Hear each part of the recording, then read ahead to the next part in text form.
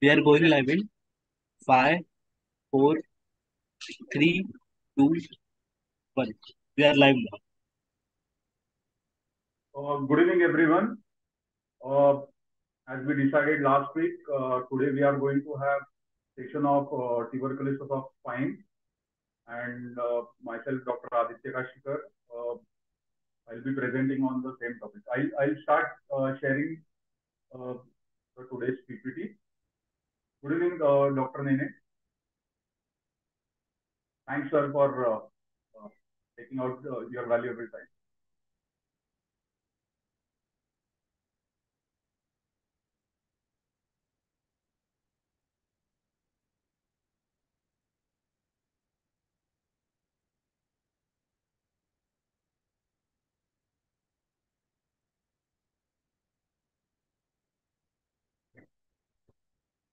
Uh, is my screen uh, visible? Hello? Visible. Yes, sir. you. Yes, sir. So um, I'll start with one uh, case. 24 year old male who presented to my clinic uh, with dull aching pain since last three weeks. Progressive weakness in both lower limbs, uh, deficit since last one week, and he was non-walker with bowel bladder involvement for last three days.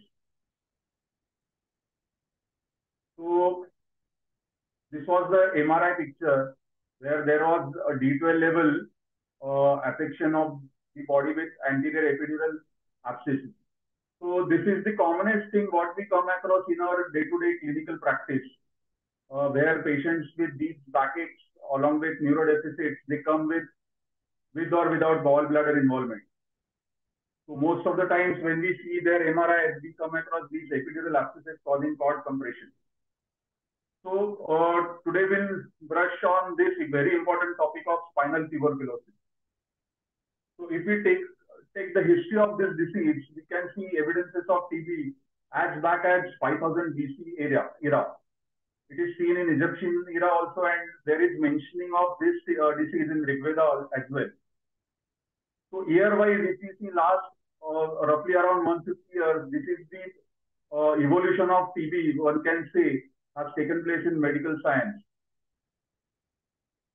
Uh, while talking about the microbiology of this disease, the main organism, as we all know, is tuberculous bacilli, and there are many other uh, mycobacterial uh, types. So there are atypical mycobacteria as well. One third of the population uh, in the world is affected by TB, and out of that, half of those are in India.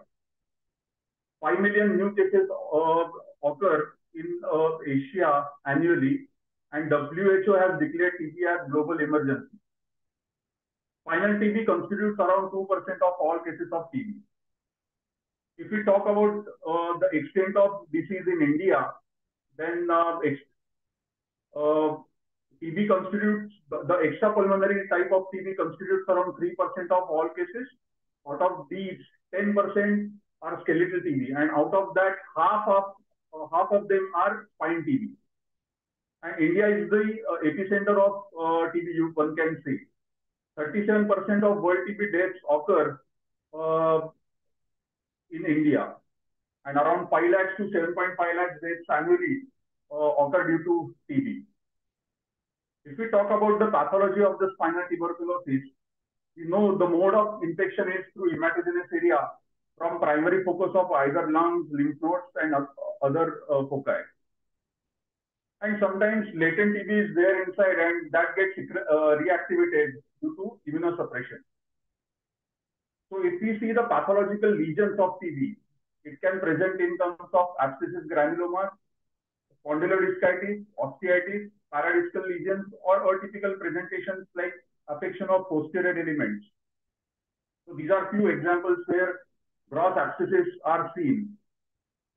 Or it can present just with uh, spondylodiscitis like picture or osteitis, just osteitis, just vertebral body affection. Paradiscal uh, lesions are uh, the common lesions and atypical spinal TB like single vertebra disease, concentric collapse, ivory vertebra, presentations can be variable. If we see the histopathology of this disease, the Langhans giant cell type uh, is the diagnostic uh, type in, uh, in, in this diagnosis. Round cell or granulomas are also seen. So whether spinal uh, tuberculosis is a clinical disease or radiological disease. So if we look into detail, then first thing is MRI is done for all cases. Uh, that is the gold standard of treatment. But whatever is seen in on MRI, for example, whenever we come across first on MRI, that need not be TB always. So if we see all these pictures uh, shown in this slide, they have all signs suggestive of uh, TB primarily. And maybe uh, the primary clinician had thought of uh, TB and they started patients on empirical AKT. And when detailed study or biopsy of these lesions were done, they were found to have these differential diagnoses mimicking TB. So, so radiological presentations can be variable. It can be disc sparing lesions or central body lesions, vertebra plana like paradiscal, multiple skip lesions or sclerotic osteitis. So if we see the differential diagnosis of these clinical radiological uh, TB-like uh, differentials are infection, pyogenic, uh, benign tumors like GCT or ABC, malignant tumors, osteoporotic fracture, sometimes Anderson's lesion, which is seen in ankylosing spondylitis. They can also mimic like spondylodiscitis like picture. So usually workup starts with blood. Mantoux is obsolete now these days. Radiologically, definitely X-ray, MRI, and sometimes CT as well is to be done. Biopsy is utmost important. If we talk about the X-ray, usually we see osteopenia, end plate erosion also can be seen, vertebral collapse on presentation one can see, and soft tissue shadows also sometimes we can see, especially on AP view. But to um, notice all these changes on X-rays, around 40% of decalcification has to be seen. Then only positive findings on X-ray can be uh, noticeable. So lytic lesions less than 1.5 centimeters can be missed on X-rays. And that's the reason diagnosis of all kind of such kind of diagnosis uh, can be delayed by three to four months. So if we talk about MRI, the advantages are it detects the early uh, pathology in early stages of the pathology. Whole spine sequence can be uh, can be taken. For example, if patient comes with let's say mid back pain, and if you want to rule out any other level region as well, so whole spine can give you a good idea about that. Delineates the extent of the lesion, how many levels, what exactly, which part of the spine is involved. So the exact anatomical location of the pathology can be delineated. Prognostication also can be, uh, to certain extent, uh, can be uh, made out from that. And these days, this is the gold standard of uh, as far as imaging is concerned. So in MRI, we usually see marrow edema, which is seen as hyperintense bone on T2 weighted image. We can see end plate erosion, paravertebral or costovertebral soft tissue affection. And obviously frank destruction, collapses and abscesses are very well noticed on MRI. Uh, abscess causing cord compression and changes because of that can also be seen. Role of CT is usually seen in destructive lesions and where uh, it, it is very much important from planning point of view uh, because the reconstruction part has to be decided depending on the destruction caused by the disease. It is also very much useful in occipito-cervical TB to differentiate between seronegative spondyloarthropathy uh, arthropathy and degenerative or infective soft tissue pathology. So, clinic, uh, so usually clinical radiological diagnosis these days, when, whenever you come across such kind of patients with these uh, radiological images, if you don't have facilities of uh, proper further uh, investigations like biopsies, still uh, maybe you can say 15, 20 years back, empirical AKT used to be started straight away. But believe me, it, it can cause more problems in future. So if at all you come across these kind of patients, be, be aware of the fact that they might be having TB and you should strive hard to get proper diagnosis. You cannot just rely on clinical and radiological suspicion. So biopsy is must. Take it. Uh, this is a blanket statement. One should strive hard to take biopsy for all patients. Let it be CT guided biopsy, or you can do biopsy uh, by yourself in uh, operation theater under fluoroscopy guidance, but biopsy has to be done. Granulation tissue or uh, one can take, um, means prepare the area just like any other surgical preparation, what we do, clean that area thoroughly, use 11 gauge or thicker needles like uh, Jamshidi needle or Cork needle. Multiple samples we need to take either from same site or maybe you can, if, if for example, if vertebral body along with adjacent disc is uh, involved, try to take biopsies from both pedicles maybe. Send sample in sterile container, uh, one in formalin, one in normal saline. I'll tell you the significance of that in uh, following slide. And send these uh, samples to reliable uh, lab at the earliest. So this is one of the examples where we did fluoroscopy guided uh, biopsy of the TB lesion. So as I said earlier also that attempt of tissue diagnosis has to be done in all cases. So this is very important slide. So uh, the sample has to be divided into sample A and sample B. Sample A uh, in 10% formalin. So this sample will go for histopathological uh, diagnosis. Sample B can be collected in normal saline. And with this sample, these eight tests can be carried out. Gram stain, AFB stain, aerobic, anaerobic culture, fungal culture, BACTEC MGIT, gene expert, and line probe assay. So in olden days, LJ medium was medium used for uh, culture of the TB, but it used to take very long time for uh, results to come. Whereas in modern days, uh, with advent of modern techniques, we have BACTEC MGIT, which is a gold standard for uh, TB detection by culture way. Uh, the results usually come in uh, matter of three to six weeks. GeneXpert is also very much important uh, test to be carried out in all uh, cases. And uh, it helps in early detection of TB as well as detection of rifampicin resistance in uh, in two days. It's in two days. It's not two hours. Sorry. Line probe assay, uh, it detects re resistance to rifampicin, INH, quinolones, and aminoglycosides in around two days uh, time. ESR, CRP, these are uh, non-specific inflammatory markers. Uh, broadly, one can do these markers for uh, progression of regression of the disease. But frankly speaking, these are uh, very much non-specific. TB, IgG and IgM, these are completely obsolete um, modes of uh, test and one should not be doing these days. Now we'll come to treatment part, whether one has to go for operative treatment or non-operative treatment. If we talk about the uh, non-surgical management of TB spine, one has to understand that spinal TB in the absence of prostate deformity and deadly com uh, complication is a medical disease. So mind you, TB is a medical disease. So all uh, these journals published by our unit only uh, if you go through, through all these articles, you will come across that uh, the, the non-operative treatment of TB is very much effective. General protocol for uh, conservative management is primary AKT, two months of uh, EHRZ, and then following maintenance uh, period from 7 to 10 months of EHR. So it can be supplemented with calcium, vitamin D, put patient to complete bed rest for six weeks and activity modification and restriction.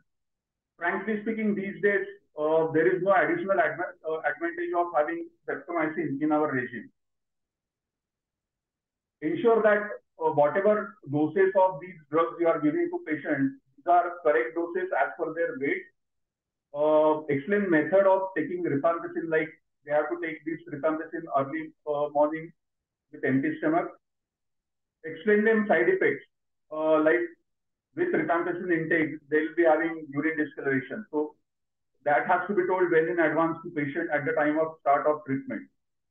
And also probable duration of treatment. You have to prime patients that how much time uh, they can expect uh, to, to, to, take the, this AKT.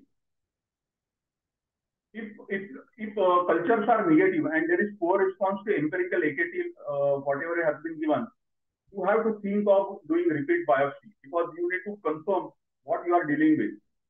There is no role of adding single uh, drug in, at this stage because many times you come across uh, patients coming to you that the prior clinician has added one more drug to uh, their ongoing primary line AKT.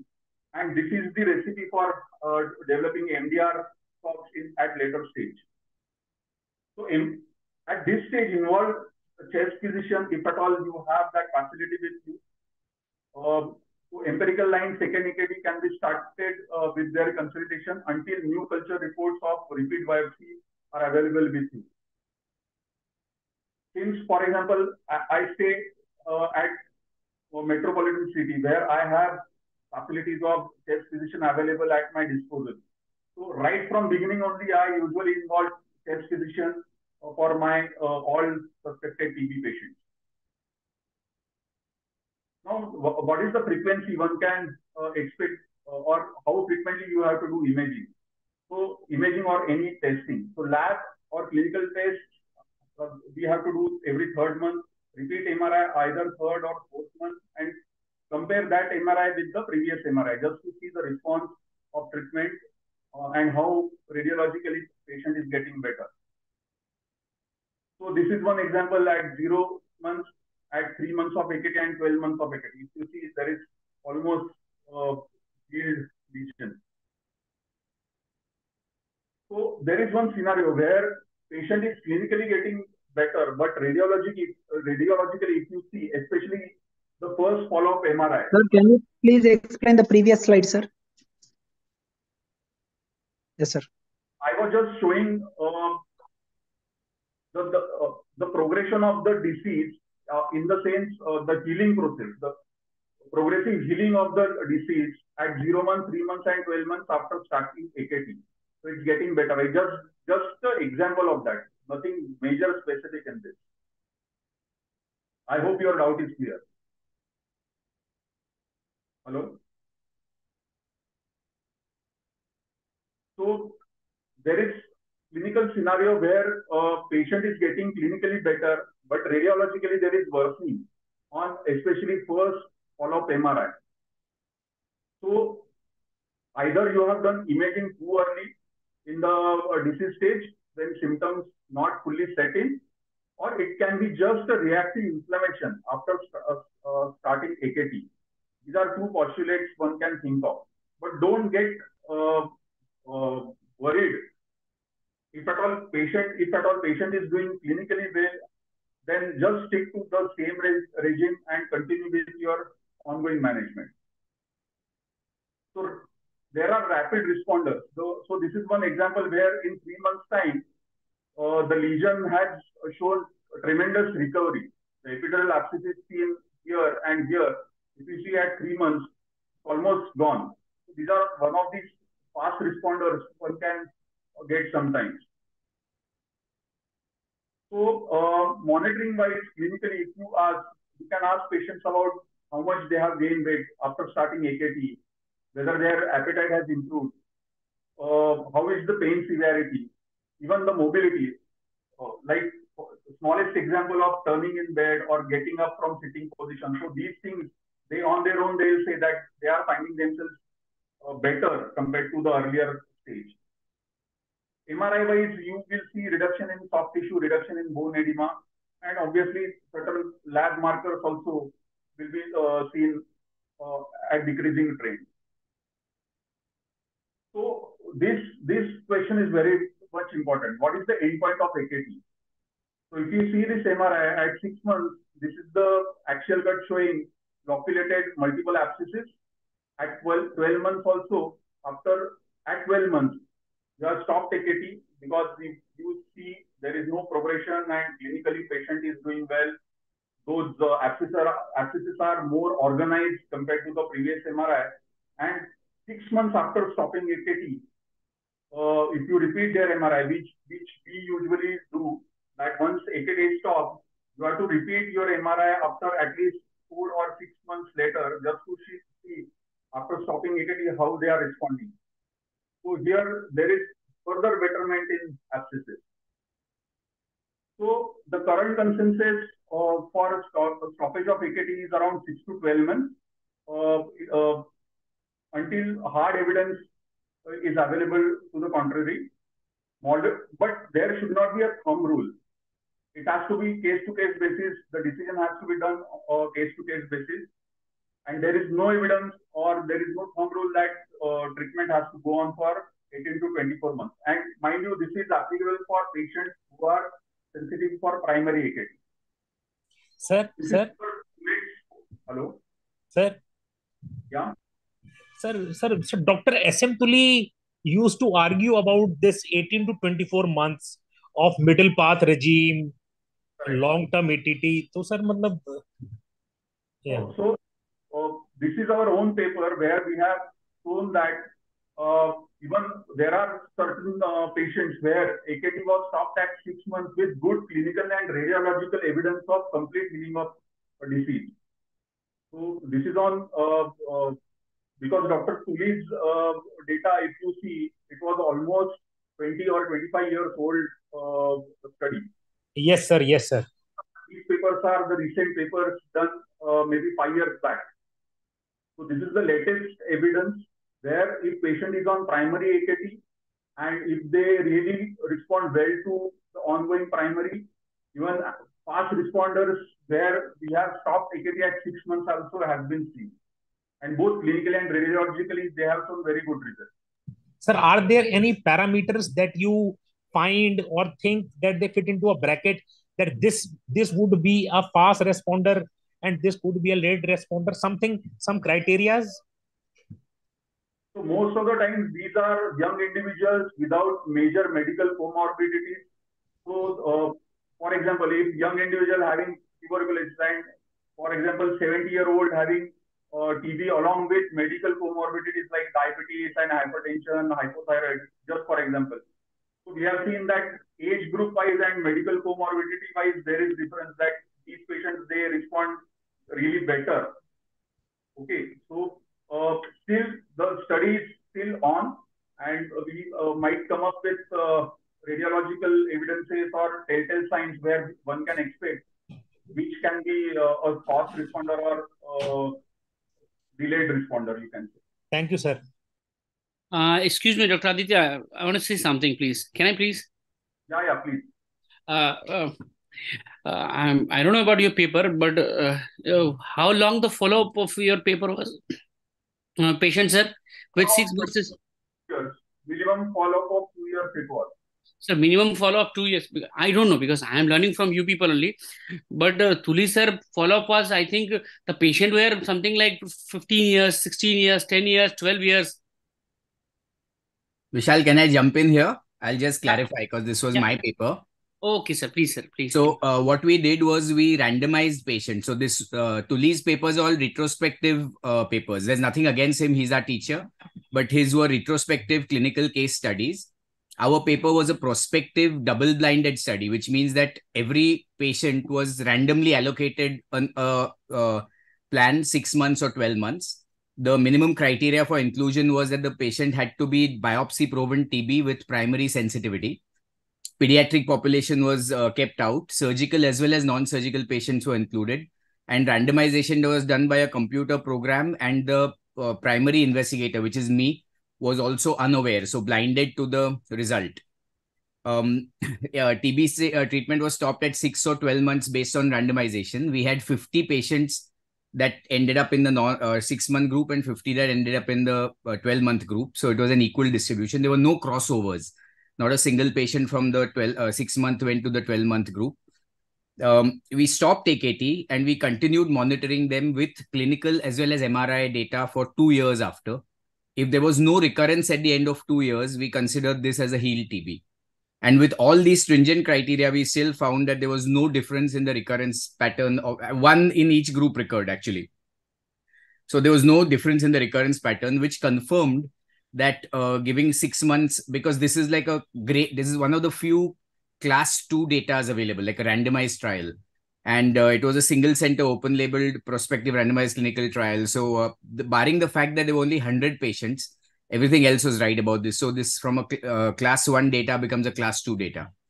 So all i'm trying to say is that in the past we would judge um, the presence of tb we would continue akt on the basis of clinical pain and that pain is uncertain people will have pain even after tb uh, treatment is over based on the deformity or destruction and the, and based on the MRI, and the MRI would show, uh, you know, uh, soft tissue even after TB is healed. It's sterile soft tissue. Just to give you an example, when uh, chest physicians treat pulmonary uh, effusion, they stop AKT at six months, regardless of whether there's effusion on the X-ray or no, because it's sterile, um, you know, liquid rather than a pulmonary effusion of tuberculosis. So we followed the same criteria, and uh, today we still follow the same criteria. We go by we go we uh, decide healing based on clinical first um, laboratory and radiological second and third in that order I hope that is clear. Vishal, you have any uh, uh, questions? Uh, no, I don't have any question, but I'll still request you because uh, just I'm not saying anything. Just I have want to. No, no, you're welcome to challenge because this is an open I forum. Worked with, I worked under Dr. Tuli yeah. uh, when I've just finished my diploma course. Mm. I was preparing for my DNB, and I, I I got the opportunity to work under him. Yeah. And trust me, I've seen people coming to him. Means those who are those who had uh, ATT for someone has nine months, some had twelve months, and they come with the recurrence, you know. And he asked the only one question. He used to आज के बेटा आपने कितने दिन तक दवा खाई थी? तो बोले सर वो हमारे छाती की दवा थी somebody said nine nine month somebody eight month मतलब variation so many people various people come but I have seen sir recurrence I have seen with him I have work something like five to six month not exactly but I have seen recurrence sir and you will be seeing same thing he is to say about polio polio also same thing. These are the two things he used to people used to come from afghanistan and he has named that syndrome just i'm uh, jumping to polio uh, for just please give me two minutes. Yeah yeah take your time. This is a very so, open forum and we like to hear your opinions he also. to, he used to name them post polio syndrome that the people are completely recovered from polio in the childhood but after 30 years they are coming with again the weakness of the lower limb. One side with the political political limb so now I am seeing this patient in my area. I have just started my private practice two years back itself, and I could see these patients are coming to me the same thing, sir. So yeah. same with the TB also. I don't know if people are doing. Maybe we'll also try for the six month and twelve month. Maybe we'll start. Yeah. Just I've seen, so I'm putting my input. That's all. Yeah. So I'll clarify on that. That the commonest cause of recurrence is inadequate dosage or poor intake of drugs, and most of uh, rural India there is inadequate dosing or patients miss their drugs. They don't take their drugs regularly. These people are uh, of course we don't include them in our series because most of ours are urban patients who follow up very stringently. So if you uh, defaulted on your drugs or if you've not consumed so as they gain weight their uh, drugs have to be upgraded the drug dosage. So then you're in trouble. So if you're dealing with patients of that nature you may suit the treatment to suit your um, you know your population so just to back this up, Dr. Rajasekaran also does not give uh, AKT for more than six months across the board for primary uh, TB. So I'm just giving you an overall perspective that's uh, happening in the country. As far as polio is concerned, it's a very well-defined entity, post-polio uh, recurrence. That is not recurrence of polio, but it's recurrence of a uh, muscular deficit that happens uh, late in the day because of an immune reaction rather than uh, the patient getting recurrence of polio. So delayed neurodeficit is a well-known entity in polio, and uh, it's not recurrence of polio. So I I hope I can clarify those two for you, Vishal. But uh, I think sure, in, sure.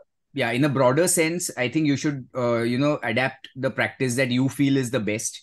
But um, I mean, I'm going to still stand out here and say that the era of 18 months of AKT for primary TB is over, and uh, you know, 12 months is still agreeable. But anything, in fact, you know our, our minimum is six months so we still stick to six nine or 12 but uh, more than 12 months for primary akt if it's given in the right dosage monitored and made sure that the patient is taking it i think is uh, is is the past now. So works for you vishal. Okay okay sir. sure. We'll try sir for the 12 month maybe we'll start and we'll collecting the data so that we can add to the it. Yeah. There are more questions. Shashank and umang uh, aditya will you... sir hello? Yes. Can can I ask a question, sir? Of course. Yes, sir. Uh, uh, here in the Gujarat, they have uh, all. Uh, I think it is in the India also. The tuberculosis is a notifiable disease, Yeah. and we have to give data to the government, and they are providing their own medicines, even though they are uh, having the tuberculosis of spine. So WHO has uh, given the guidelines that you need not give the AKT throughout the week, only three times yeah or, four days a week. And uh, they they are giving their medicines to the patient directly. So we uh, what is your call? Is it true? Is it uh, causing any problem? Or is it uh, a correct method? So dots, as I understand, is largely given up. The newest WHO regimen suggests no dots. Uh, for uh, TB of the spine, it becomes difficult because mostly these patients are immobile and uh, they are not able to go to the centers. There is a very strong data that came out of Gujarat uh, about four or five years ago, which uh, which actually compared dots with non-dots, and they suggested that the dots had an equal result as non-dots. So that's as far as our uh, you know our experience goes. We never use dots, though we notify the disease. We uh, what we do in you know our private practice setups is that we refer TB patients to TB specialists for AKT, and they do the notification and they uh, kind of handle the drugs. But uh, my wife is uh, one of the leading chest physicians in the country, and she confirms with me that dots has been given up, you know, across the world now. So uh, we could do some more R and D unless someone else in the audience has better information. Um, that's all I would know about it. Umang and Shashank. Uh, sir, uh, good evening, sir. Good evening. Uh, one question, uh, what I wanted to ask is uh, slightly different from this perspective is uh, the pediatric age group. Uh, when you have, uh, so pediatric age group has two problems. One is that they end up having a, uh, even a healed corpse has a chance of progressing with the growth of the spine. So the point is that when you're doing uh, probably a kyphosis correction in these patients, do you recommend to start restart AKT for these patients post-op? And if yes, then how many months and the regimen for the same? So the specialty about pediatric population is there's a very high incidence of MDR TB. Uh, the others, so that's got nothing to do with uh, you know it's your drug drug regimen completely changes. The other specialty is that because bones are small and cartilaginous, there's very high uh, you know amount of destructions and deformities. But to answer your question specifically, there is no role of starting AKT if you're treating a healed deformity in pediatric TB because the recurrence rates of uh, TB again given that the patient has been astute with taking his drugs and his dosages have been corrected, uh, the recurrence rate is not any higher. So uh, the simple answer to the question is we do not restart AKT when we're doing a deformity correction in an old healed TB in a pediatric, uh, you know, population. So you have not found any uh, like Absolutely no, and we published no. we published our series because uh, so I think uh, the reason I asked is because I think uh, Dr. Tuli's book mentions that any uh, any area which is affected by TB and you're operating post uh, recover uh, like in a healed case, you should ideally give uh, AKT for six months. So just wanted your opinion on that. Yeah, but I, I would again stand out and I have deep respect for Dr. Tuli. I consider him as a god of uh, tuberculosis, to be fr- uh, frank. Like every time I meet him, I touch his feet literally. But uh, this is, I think, not, that doesn't, no, no longer holds true. And I work at Wadia Hospital, which is a pure pediatric hospital. So we have extensive experience with uh, this and we are re- routinely doing these surgeries and we do not start AKT. Oh, thanks sir my question was not answered uh, daily uh, AKT is recommended or the WHO recommendation Virendra, daily Like- is recommended. Simple Okay. answers, daily is recommended. Thank you. Nitin? Hello, sir. Sir. Yeah. S- Sir, when you say when you say that uh, e- even after the six months therapy, you you do clinical follow up, laboratory follow up. Does that mean uh, the biopsy also? No, no biopsy, Nitin. Only uh, clinical follow-up, uh, CBC, ESR, CRP, inflammatory markers, and MRI at every six months. Right. But We sir, don't do one- it now because this was only for that trial. But now Yeah. we do it at least one year after the TB treatment is over, and uh, then we keep it SOS. Sir, sir, at, sir, at, at one time when we look at these inflammatory markers, we say that they are non-specific. But when it comes to doing the post-op workup, we consider them कि करना चाहिए तो sir वो तो non specific ही ही है तो last में जाके वो इतने रेलिवेंट क्यों माने जाते हैं Yeah, I fully agree with you. So ESR is non-specific. CRP is rather specific for inflammation. Both are non-specific, uh, non-specific for tuberculosis.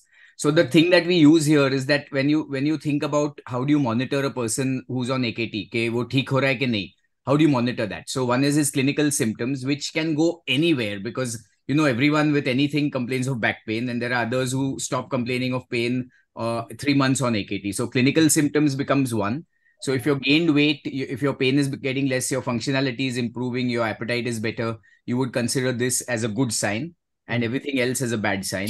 Then we look at radiology. Again, radiology, as you know, the limitation is that um, soft tissue is seen even even after TB is gone, and uh, that soft tissue is just a sterile soft tissue, and that, that is not an indicator. So the specific indicator on MRI is reconversion of fatty marrow. So if you can see edema on a stir image, which is gone away and now become fatty marrow, because a stir image can distinguish between fat and uh, fluid, then Yes, you sir. would think of this as healing. And then what else do you have left? So you have these comparative markers of ESR and CRP, which by themselves, I fully agree with you, they are non non-specific for TB. But if there's a rising trend in these, along with some suspicious things on clinical and MRI, then you would think of that as one of the markers. We don't have a fourth marker because the PET scan has very badly flopped in the uh, assessment of tuberculosis. We time and again have tried to use the PET scan, but it has a very, very limited role in TB. So these are the only three things we hang on. So we use the CBC, ESR, and CRP. But I fully agree that if I check my ESR today and it's high, it doesn't mean anything. Right. And sir, when we when we look at this paper of yours, this six versus twelve, a single center open label prospective randomized clinical trial, and you say there is no crossover. Sir, sir, when we look at such trials, sir, there are in other papers also that you shared earlier, there are two terms which are used. Sir, intention to treat analysis and as is treated analysis. Sir, I am wondering, sir, can you if you can throw some light in Yeah, your trial, deep- what analysis you deep- used? yeah. It is a deep statistical question, but intention to treat is the day that you randomize this person, you put him in which group. That's intention to treat. Okay. And some of some people cross over. So one of the reasons for crossover is they develop some side effects. They, you know, they can't adhere to the therapy. The others is that sometimes the patient, because they, they're all consented, all the patients have a written consent that you may go in this group or that group. And they sometimes say, no, no, I'm not happy. I want to be here. So, uh, you know, urban patients, they go, they read up and they, so those would then cross over to the other group. So that those would become as is treated patients. Sir sir I repeat I repeat sir what I could gather is कि जब जब जब clinician ने choose किया patient को एक तरफ़ डालने का तो वो तो है इंटेंशन टू ट्रीट करेक्ट वो क्लिनिशियन चूज़ नहीं करता वो रैंडम कंप्यूटर चूज़ करता अच्छा है. अच्छा रैंडम रैंडम चूज़ होता है। अच्छा। और सर बाद में फिर अगर मरीज़ को मरीज़ के हिसाब से जाना पड़ गया तो वो हो गया as is treat as is treated so कभी कभी फिफ्टी फिफ्टी आ गए बट हाँ। ये फिफ्टी में से दो लोग उस ग्रुप में चले गए तो it becomes fifty two as is to treat and forty eight as is to treat thank you sir okay thank you Shashank Uh, hello, sir. Mm, so I have one question uh, regarding your this paper uh, for where you have uh, stated that six to twelve months of anterior ATT is uh, more than sufficient for spinal TB. Now my question is like uh, we have always considered tuberculosis as a mm, uh, disease of poor people. it is not very common in affluent people, uh, and uh, where the hygiene and nutrition is very much uh, important. Now, uh, now in this case, if you land uh, like, is this rule very common? Like, if a patient is a affluent patient, then we should go for six months bare minimum ATT, and somebody who is from a poor strata or lower socioeconomic strata, then we can go for 12 months of ATT. Yeah, so I'd like to correct that. Uh, tuberculosis of the spine, which is extrapulmonary TB, is a TB of reactivation of disease. So mostly the, the disease has been acquired by us. So I'm 50. I probably acquired it because I'm in an endemic zone. I acquired it, in, you know, in 1975 or 1977, and uh, Yeah. it has remained latent in my body. And because of immune deficiency, it has got reacquired or it's got re uh, ignited in my body. Now, because of that, it's no longer a disease of the uh, poor, unfortunately or fortunately. Our most famous actor has had TB. The first name that comes to your mind, Bollywood actor. His daughter-in-law has had TB, and uh, one of our other famous, uh, you know, uh, Bollywood personality. So it's it's a disease of the affluent because stress, diabetes, uh, you know, diet related immune compromise is very very common in the affluent. So that clarifies that first question. As far as extrapulmonary TB is concerned, pulmonary TB is still a direct in- inoculation, so it still remains a disease of the of the poor, if you may say. And uh, then, as far as uh, you know, AKT of six months or twelve months goes, I know we are not able to make a very strong recommendation. So maybe uh, for for everyone or for the masses, uh, tech, uh, the recommendation could be that you don't have to give more than twelve months. It's very difficult to say that you know who to give six months to, who could who to give twelve months to. That uniformity becomes very difficult. I totally agree with that. And the trial is smaller to you know not so big to be able to make a very bold recommendation, which is why uh, the spine recommended that we call this a pilot study but uh, we have experience of 200 cases which is unpublished data from dr Bhojra- time where we have given only 12 months akt and those follow-ups are 20 year follow-ups. But because they are quite random and haphazard we are not able to publish those. But th- that was the basis of uh, starting this trial. And this trial went through a very strong irb and they wanted us to show that data before they allowed us to stop akt at six months. So i think the takeaway is that give 12 months but not anymore. Okay, sir. So uh, basically, the uh, socioeconomic strata in extrapulmonary TB doesn't have any doesn't big have role. any role. Yes. but Okay, I'm sir. glad you Thank brought that sir. point out. Yeah. Gaurav, Yeah, one sure. last Thank you. question. Yeah. Sir, good evening, sir.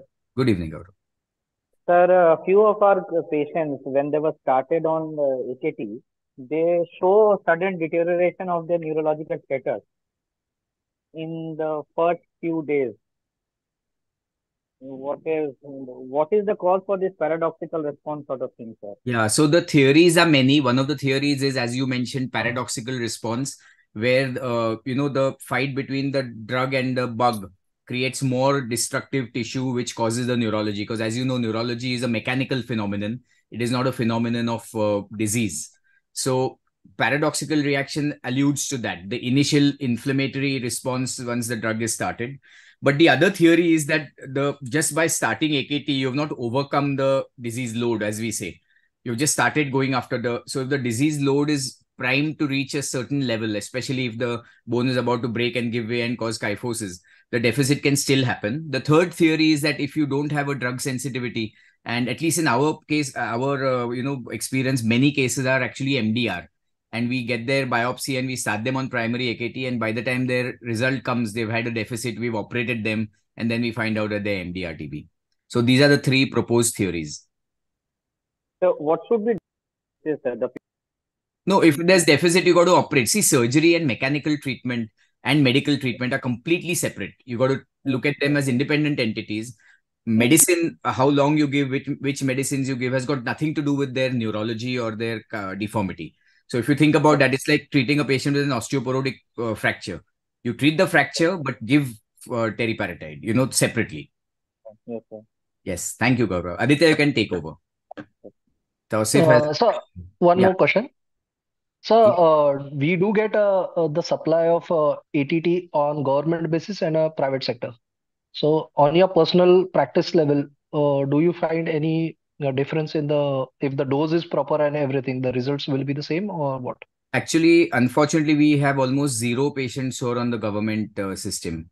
All of them are on uh, private medicines. Even the Wadia hospital patients go on, uh, you know, on. So we, I don't honestly have data, but I told you there was a very strong patient uh, uh, uh, publication from not pub, presentation from Gujarat, where DOTS was followed by government uh, regulation, and they all did equally well for, as per that, uh, you know, that paper Yeah. from Ahmedabad. Yes. So First- and uh, last uh, last question uh, on your personal practice, which I have uh, on my whatever days I have uh, been practicing, I feel the uh, chances of MDR TB is more towards the uh, crowded cities alive uh, as compared to the third tier or second tier cities Yeah, that's the largely true. The in non-pulmonary TB, the rate of MDR is lower. Pulmonary TB is higher. Children, the rate of MDR is higher. Referral centers, the rate of MDR is higher, and uh, urban cities because of cross, you know, crossing over of population, the MDR TB is higher. You're quite right. Okay, sir. Thank you, sir. Yes. Tosif, last question because Aditya has to con- continue his presentation. Yeah, sir. So, uh, in today's era where more specific and sensitive tests are coming in, like uh, GeneXpert has been replaced, almost replaced by GeneXpert Ultra. Uh, what is role of uh, line probe assay in today's era? So maybe Aditya, you you want to take that because a part of your talk. LPA, there are two types of LPA now, and um, Aditya, do you want to take that? Uh, uh, basically, the line probe assay uh, has to be done where the uh, the smear is uh, has come positive. Uh, but at the same time, uh, it gives Basically, uh, LPA gives a sensitivity pattern to all some 20 drugs, while uh, this thing gives a sensitivity pattern only to two drugs. And it's assumed that if you're arsenic, I mean, rifampicin INH resistant, you're considered MDR. So LPA, according to me, in a you know in a referral practice, is a must because you don't send LPA. And the second type of LPA, I forget the name again. It's something like LPA Ultra or some modern LPA, which is modern new type of LPA. Actually, doesn't need smear positive patients also. So LPA is a test which um, should be used uh, by us, which we tend not to use. Okay, Aditya, you can continue your uh, your lecture. So, uh, we come across these clinical uh, confusing scenarios. This is one case where uh, there was clinical uh, suspicion of uh, TB, radiological also, biopsy also proven uh, TB.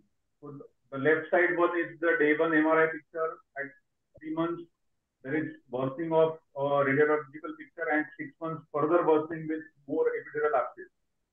So if you see these kind of case scenarios where disease has worsened while patient is on AKT, always think of drug, drug resistance.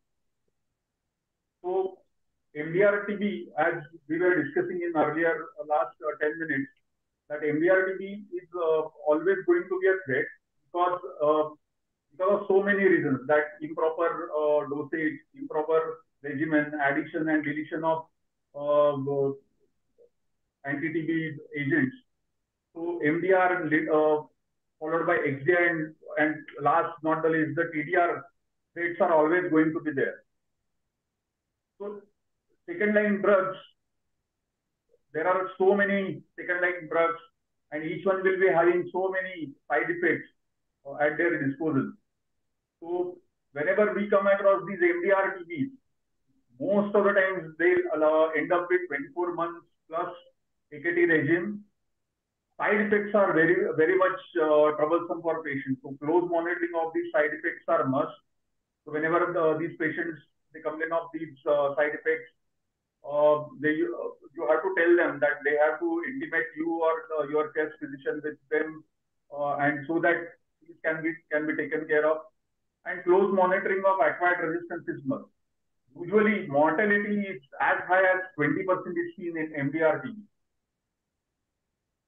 So uh, there is one more clinical scenario where patient is bit confused that whenever we come across these kind of epidural abscesses causing cord compression, each surgery is indicated in all cases.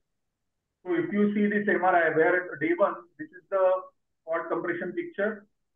At three months, this is the uh, cord compression. Yes, And at sir, 12 can't, months, can't see your hello?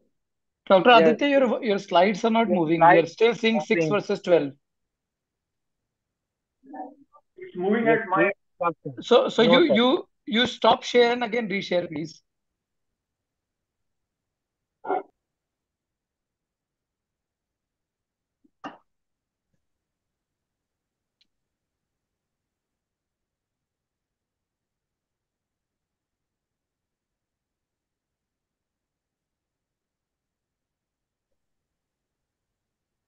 Is it visible now? Yes, sir. Hello? Yes, Yes, yeah, yes, visible now. Yeah. Yeah. So, uh, if you see these three MRI pictures done at three months and 12 months, just by doing uh, proper AKT treatment, this epidural abscess has vanished. So that means, and uh, it's not necessary that always and always uh, cord compression happened due to this abscess uh, will need surgical intervention. This is one more example where mid-thoracic level cord compression at day zero and at six months. And you can see this remarkable uh, improvement in radiological picture. One more example, where there is complete resolution of these uh, epidural abscesses. So uh, this is one more paper uh, by uh, Nene sir only, that non-operative management in spinal cord compression. So non-surgical management is as effective uh, uh, as any other treatment in treating these uh, conditions. So where is the role of non-surgical treatment in, uh, in, in spinal TB? So where there, there are abscesses where disease load is high, uh, drug resistance to TB. So basically one needs to understand that TB is, as I mentioned in my one of the earlier slides, that TB is a medical disease. So you need to uh, respect that fact because that is going to help you in the longer run. So uh, paravertebral abscesses, one can drain abscesses if those abscesses are causing mass effect. Disease load might be high, but as AKT will take over, uh, these uh, that will take care of your abscesses, that will reduce your disease burden as well. Mind you, instability is, uh, is a transient uh, phenomenon as far as TB is concerned because there, there will be instability as there will be weight lesion to start with. But if you keep these patients in bed on complete bed rest with uh, appropriate sensitive anti-TB treatment, they really do well. As you can see the clinical uh, picture over here, this lady bending forward completely. So when it comes to operative treatment, where do we operate such patients? So elective surgery is done Sir, usually. sir, sir. Yes. Sir, sir, when you show that lady bending, but sir, the, the knees are also bent. These are also bent. I uh, understand. See, these are all old ladies, so you cannot expect them to put their extended position. Okay. But if you see her, uh, back, I mean, flexion, Yeah, yeah. she is doing quite well. Yeah, even yeah. are uh, in bent position. Right. Okay, so as far as these operative treatments are concerned, so usually we operate these patients uh, electively where there is enough evidence of progression of deformity or there is a good evidence of instability both clinically and radiologically. The semi-urgent indication you can say where you are uh, suspecting impending deficit happening with patient or urgent or immediate indication obviously is rapid neuro, uh, neurological deterioration when patient is under your uh, observation. So patient where uh, we see neurological deficit 3 by 5 or less, patients who are under conservative trial or uh, trial, they develop neuro, significant neurodeficit, patients uh, who, whose neurodeficit worsen, uh, and especially in children where there are finite age signs uh, as um, proposed by Rajasekaran group. So in current scenario, the surgery remains only posterior approach. Mind you, you can treat all TB pathologies uh, from your posterior ap approach itself. The principles are you have to decompress the region, uh, even if it's in anterior area, you can very well decompress that from posterior approach, stabilize it properly posteriorly, and reconstruct the anterior region. So as I mentioned, that decompression and reconstruction of the anterior part can be done thoroughly from the posterior approach, fixed uninvolved posterior elements. The transpedicular uh, decompression is the uh, approach one uh, proposes for these kind of lesions. This is uh, very much accepted and uh, very good approach as we can uh, approach the anterior disease we can approach the canal, we can decompress the lesion, we can take proper biopsy sample from this approach. I'll be showing you one uh, demonstration video also how to do this transpedicular decompression. So one of the cases where 64-year-old female mid-thoracic TB with paraparesis, very well uh, treated with hard shield and sublaminar wire. When there is anterior collapse or deformity happening, So you need to understand that you need to uh, decompress, but at the same time, after stabilization of your posterior uh, uh, from posterior, you need to reconstruct the anterior region. Otherwise, there will be too much of load on posterior uh, fixation and that fixation can give way.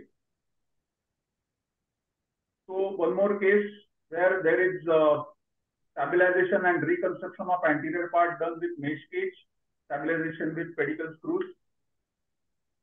TB in elderly population. So this is one of the papers of Dr. Nene where uh, uh, preoperative mobility is uh, they found that preoperative mobility is associated with immediate postoperative mortality in elderly patients uh, with spinal tuberculosis undergoing surgery. The findings identify preoperative immobility as a risk factor for mortality and which could contribute for more detailed prognostic discussion between surgeon and patient before surgery. One of the examples where uh, this, this 82 year old lady with prior history of IHD with unstable angina did, did just stabilization of this region, thereby helping her to mobilize early. So this paralytic scoring is also one of the papers proposed by Nene sir, uh, where they found that uh, the more the score is, the chances of mortality is more, and the less the score is, the, their mobility or results are better. So TB causing significant deformity. So where there is uh, kyphotic deformity happening, so always think of uh, planning close wedge osteotomy in such cases and uh, bone-to-bone connection you can do and shortening of the posterior column. One of the examples where uh, close wedge osteotomy with bone-to-bone -bone contact and posterior stabilization was done. So, um, see, always the corrective treatment uh, with appropriate sensitive antibiotic is very much important, even if we are contemplating surgical treatment for any kind of uh, such kind of patients. So this is one example where uh, TB lesion was seen, surgery was done, anterior reconstruction was done by uh, standalone graft. In one month post-op only, patient started getting recurrent symptoms. So, and the reason of this failure of the surgery, we found that because at six weeks report, we found that patient was resistant to primary AKT. So that means appropriate antibiotic treatment is utmost important in such patients. Also, this is one example where multiple surgeries were done or performed on this resistant spinal proven TB.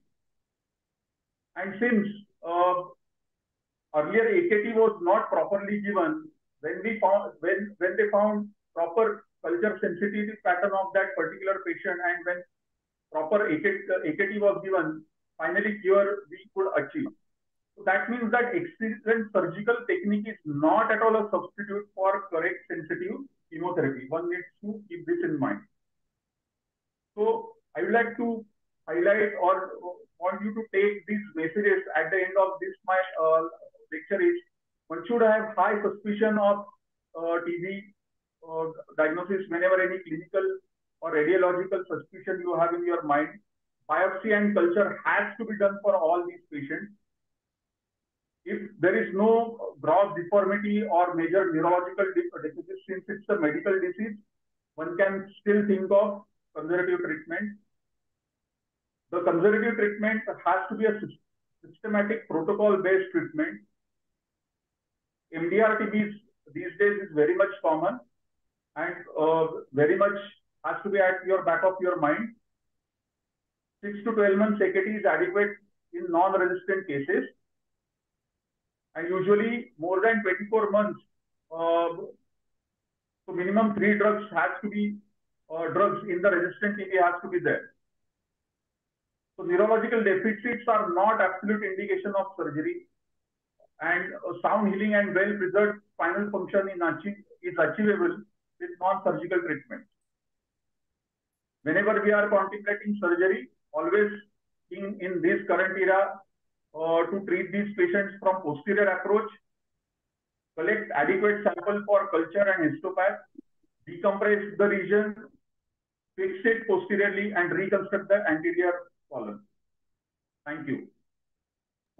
Sir, even in the cervical spine tuberculosis, you advise for posterior approach? It depends on how much is the destruction or uh, damage has caused. Because if at all it's anterior, too much of uh, kyphotic deformity, then definitely you can see. Uh, by and large, these principles are applicable for dorsal and lumbar spine. In cervical, sometimes, as you rightly pointed out, that if too much of kyphotic deformity with gross destruction of vertebral column is there, then maybe you may have to go anterior as well. So I, I agree with uh, Dr. Aditya, and it's a good question, Virendra, that in cervical, the predominant approach is anterior because uh, the reason is that the posterior instrumentation is not strong. The instruments we use are usually lateral mass screws. We don't, we rarely use pedicle screws in the neck. So you need to do an anti, and it's a much easier approach. So we largely do anterior. Sometimes we do anterior with posterior. If it's a deformity correction, you need to go at the back, you know, do an osteotomy correct and then fill up from the front. So a variety of combinations. It's a good question. Umang? Sir, uh, if you allow me, uh, yes, sir. Like that TPD uh, video right now, and then we'll take up questions. Sure. While Umang is asking his question, Umang?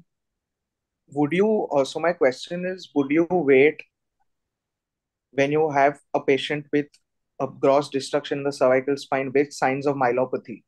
Would you still tell him that I will wait and I will wait it out and give him AKT and think about what will happen, or you'll go in and do a surgery when he's showing si- early signs of myelopathy? Because we all know that myelopathy, if caught early and managed uh, early, has a better outcome than you know waiting for it to deteriorate. Like, what are your points, sir? Aditya, do you want to take that? Sorry, sir, I was. Uh, yeah. So basically, myelopathy. Uh, I, uh, for us, if it's a walker, if the patient is a walker, which means that his uh, power is more than uh, you know three by five, and his myelopathy score does not allow. I mean, that has not got him bedridden, and uh, physically or mechanically the disease is conservable, which means there's no progressive kyphosis, there's no potential or least potential for the neck to collapse or the back to collapse and cause a bony stenosis. We would still uh, conserve him or at least offer him conservative treatment. Some of them don't buy into it. They say, I don't want to take this chance because we keep, you know, needing them to follow up our physio will see them at home, etc. So some of them buy into a surgical treatment, but we would offer a, a non-surgical treatment because they recover very well. But a non-walker would be offered surgery, and someone who has anyway a mechanical destruction, who will, you know, despite neurology being salvaged, is going to go down south uh, by by the mechanics of the spine, would probably go in for surgery early. Thank you, Nitin. Sir, sir, I was, sir, I was wondering when we look at this. Uh, D10 to L2 level, uh, uh, sir, how frequently it is noticed that TB related this thrombosis of artery of Adamkiewicz yes, and and maybe something like that, sir. I was wondering, sir. Nitin, there's a new paper that has uh, not new actually; it's almost ten years old. That has confirmed that uh, ad- artery of Adams quiz is bullshit. Basically, it doesn't exist. It exists, but it has no. The role of the artery in causing paraplegia has been grossly overrated, and mostly we as surgeons use it to hide our sins. Means we've done some musty during surgery, and the patient has turned paraplegic, and we say, "Ha, wo Adamkiewicz ko burn kiya." That's not true. So uh, I think, as far as we are concerned, from this generation forwards, we should forget talking about the artery of Adam's quiz. ठीक है sir sir ये जो ये जो sir ALD है sir ALD भी surgery of past हो गया है या ये इसका भी कुछ है अभी रोल ना ना ना एएलडी के वेरिएशन अच्छे आ गए ALD by by its uh, native or the by its native form just involved going through the ribs and draining the abscess. Yeah, Dr. Tully's approach. Yeah, yeah, yeah, yeah, yeah, Because yeah. it's too big an approach to just drain an abscess when you can do it with a pigtail and a CT scan. Okay. You see, but we use the ALD approach to reconstruct anteriorly, and I think Dr. Aditya might be showing something uh, of that that variety. Right, and sir, the last thing, sir, sir, sir, uh, sir, I have done, sir, sir, quite, quite, sir, मैंने sir, sir अभी sir पिछले दो साल में sir मैंने sir दो, sir मैंने sir दो ALD किए, सर मेरे को नहीं पता था बाकी चीज़ों का, सर एक ALD में क्या हुआ कि सर उसका L1 का वो था टीबी सर बाद में बाद में सर उसके उस एरिया के अंदर में मतलब there was gliosis at at the level of D twelve something like that तो सर आई वाज वंडरिंग कि शायद मैंने कुछ खेला कर दिया इसलिए ग्लायोसिस हो गया कॉर्ड में Yeah, gliosis is a is a scarring of the spinal cord, which means it's typically without wanting to blame you, Nitin, it's the fiddling that you've done with the neural tissues. And sir. L1 में problem आती है कि you can't cut the root. So you end up, you know, retracting more to get in the front. I think and the rule is at the conus level, you can't even breathe on the conus, like leave alone retraction. And the beauty of ALD is that you can make a lateral approach without actually seeing the spinal, uh, you know, spi- spinal tissue. Thank you, sir. Uh, सबसे sir, होता है don't worry Nitin हम लोग के सब ने ऐसे problems किए हैं uh, Umang sir, uh, sir, uh, one question is uh, about how many levels. One is you decide to fix, whether it's three above, two down, or three up, three down. And uh, when would you do an anterior reconstruction? So the answer lies in your question because if you're doing an anterior reconstruction, you can reduce the amount of fixation. So you would do an anterior reconstruction in two situations. One is where you need to save levels, like in the lumbar spine, and you would do it in a situation where there's a collapse which is going to open up, which which you're not able to close from the back. Uh, this is a judgment. It's not a hard like rule cast in stone. But as a surgeon, if you see that there's going to be a big defect in the front, uh, and or a deformity, you would err towards doing an anterior reconstruction.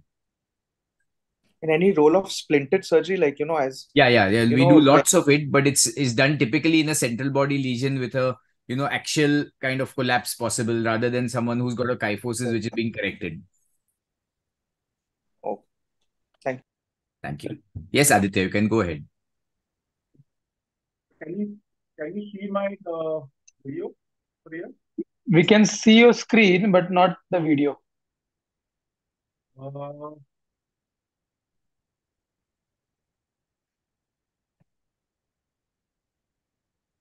Sir, meantime, we'll keep taking questions. yeah, yeah. Please, please carry on.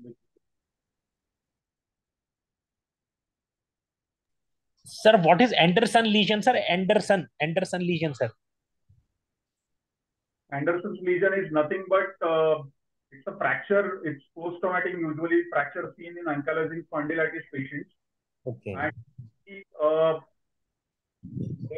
lesion seen on MRI, the often differential diagnosis is uh, spondylodiscitis. So often Okay. you get confused that uh, ankylosing uh, spondylitis patient, if that patient comes with severe back pain with maybe deformity, kyphotic deformity, and uh, severe pain, and if you do their MRI, you may see that there is three column fracture along with query infection like uh, trans uh, means, uh, spondylodiscitis uh, discitis like picture. So that is that is nothing but a uh, Anderson's lesion. Thank you, sir. Uh, Gaurav, you have a question? Sir, with regard to that paradoxical reaction thing, uh, both of my patients who were being treated on that conservative line, sir, they showed that a reaction thing or the worsening of neurological status within the first week itself. And both of them went on to recover completely with the continuation of the treatment. So, should we jump in at that time for the surgical intervention, or should we wait for some days to see whether it is becoming a Yeah, I mean, as you have shown in your cases, waiting is a good option, but that's provided the neurology is just subtle. The um, I mean, the takeaway from your both cases and your experience is that don't jump to a very early change in uh, early and slight change in neurology. But I think most of us as surgeons, they can. I'm interested to know, Gaurav, what uh, what made you wait when they worsened on treatment? The, the actually the thing was that sir, the patient when he came to our hospital, they were walking and were only complaining of back pain, severe back pain. So we did an MRI and everything, and their neurology was completely intact at that time. So we went for an MRI and uh, we saw spondylodiscitis kind of a lesion and everything. The blood parameters were in line with TB. So we started them on EKT. Within, uh, I suppose, the first patient on the third day started complaining of sudden weakness in both of his legs and he was very apprehensive because of that. But uh, we, along with my neurologist, uh, we both counseled him that we should wait. This this kind of thing happens because of the paradoxical thing and everything. And we waited for some five to six days, and within one week, his neurological status improved. And that That's that patient, uh, that patient has completely healed. Sir. He's okay. He's fine. Lovely. So I think that's astute clinical judgment, and that patient is going to be your most grateful patient. Well done, Gaurav. Thank you, sir. Was that patient given any steroids? No, not not initially. No. No. no. We did not opt for steroid even when his uh, neurological status improved. Great. And uh, despite not giving that, he improved, and uh, both both of them, in fact. So the the main issue with this is uh, the patients become very apprehensive, and they jump to the conclusion that you have done something wrong or the treatment is not working and something of that sort. So that was the main issue with tackling this thing, sir. True. I think uh, the same is uh, kind of pathophysically related to lepra reactions. So if you Ah, see, yes, sir. yeah, yeah, Ah, yeah. So so that is a story. A lot of patient, lot of people do give uh, steroids, but uh, sir. I think it's it's uh, a personal choice. Yeah. Yes. Okay. Thank you so much.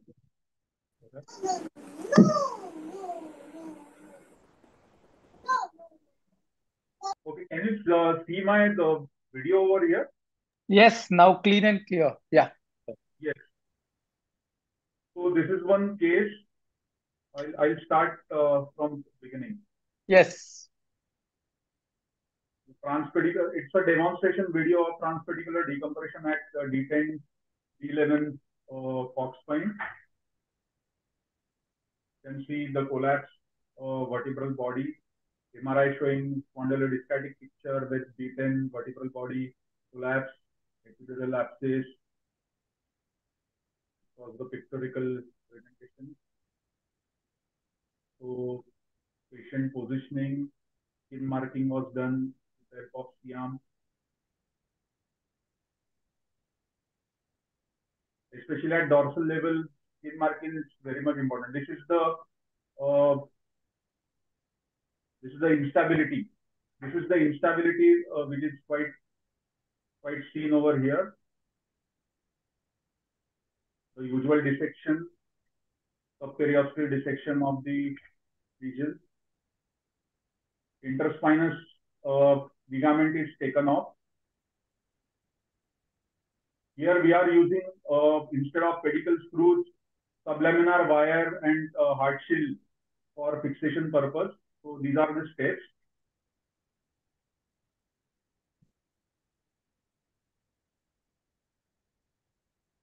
So here, uh, inter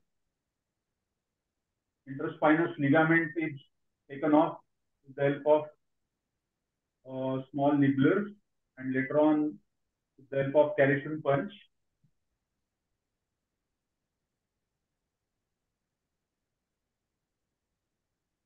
So now here uh, Kerrison is punch, Kerrison punch is put in the interlaminar space where the flavum is flavum, flavum is taken off on either side so that uh, the cord is cord surface is seen. So this is called as interlaminar preparation.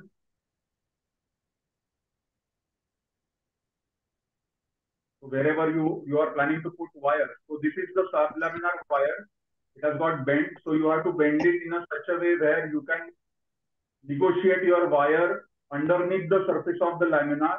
It simply pops out. You can see the tip of the uh, wire has come out from upper interlaminar space and with the help of needle holder, it has been pulled up, pulled over. So these wires are taken out on either side.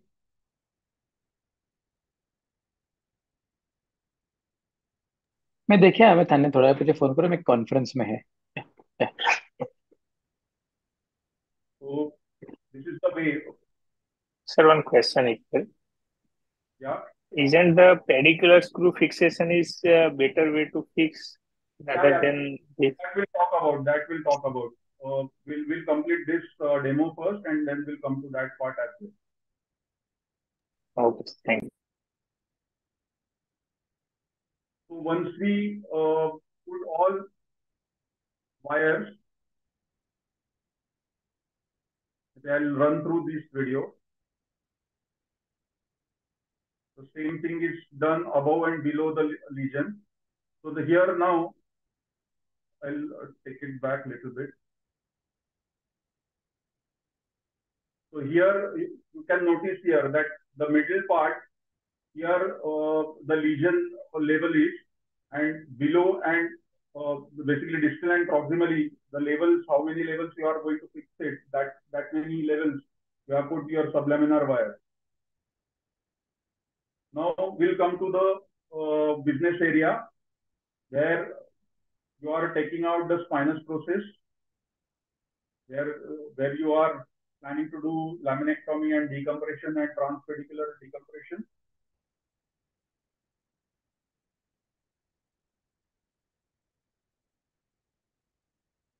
The usual laminectomy process is carried out.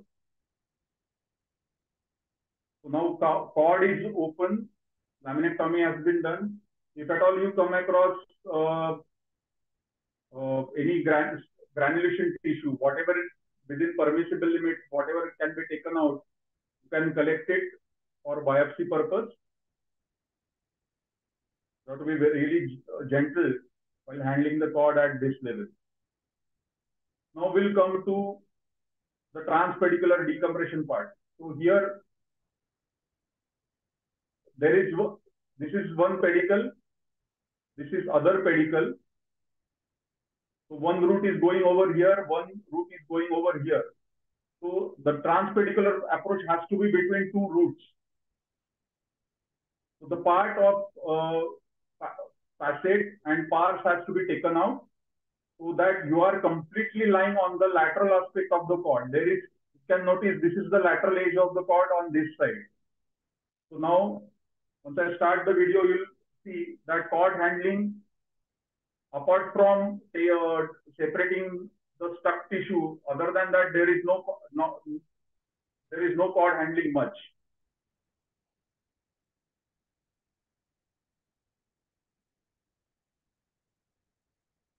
So slowly with uh, your field, you have to dissect the tissue out. If at all granulation tissue is seen, particularly in this case, there was lots of granulation tissue. So we are just taking out that uh, granulation tissue by gently separating it out. With the once you separate it out from the uh, cord surface, then you can use your disc forceps maybe or maybe nibbler to collect that sample, take it out piecemeal, any bleeders, uh, co coagulate them with bipolar cautery. See, this is where the first pocket is seen. So you can take a nick on that. So here, absolutely, you are not handling the cord. You are going absolutely lateral on uh, on lateral aspect and you are approaching the anterior disease from lateral aspect. And very good sample is collected at the same time you are decompressing the cord. So this is on one side. I'm just running through the video. So once you are satisfied that you have done the job, this is on the other side now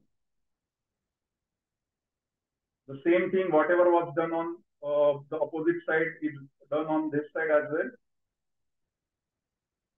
Where the first pocket is uh, exposed, adequate sample is being collected.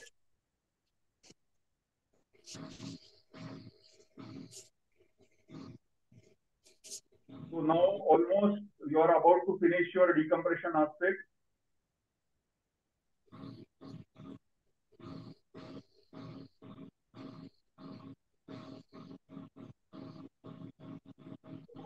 See, now cord is completely free anteriorly as well. As you can see, the free movement of the rubber catheter put across.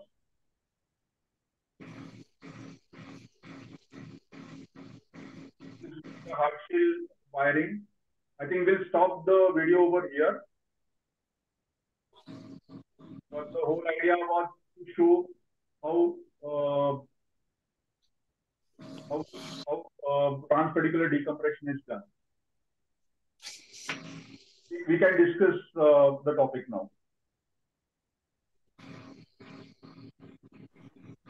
Hello?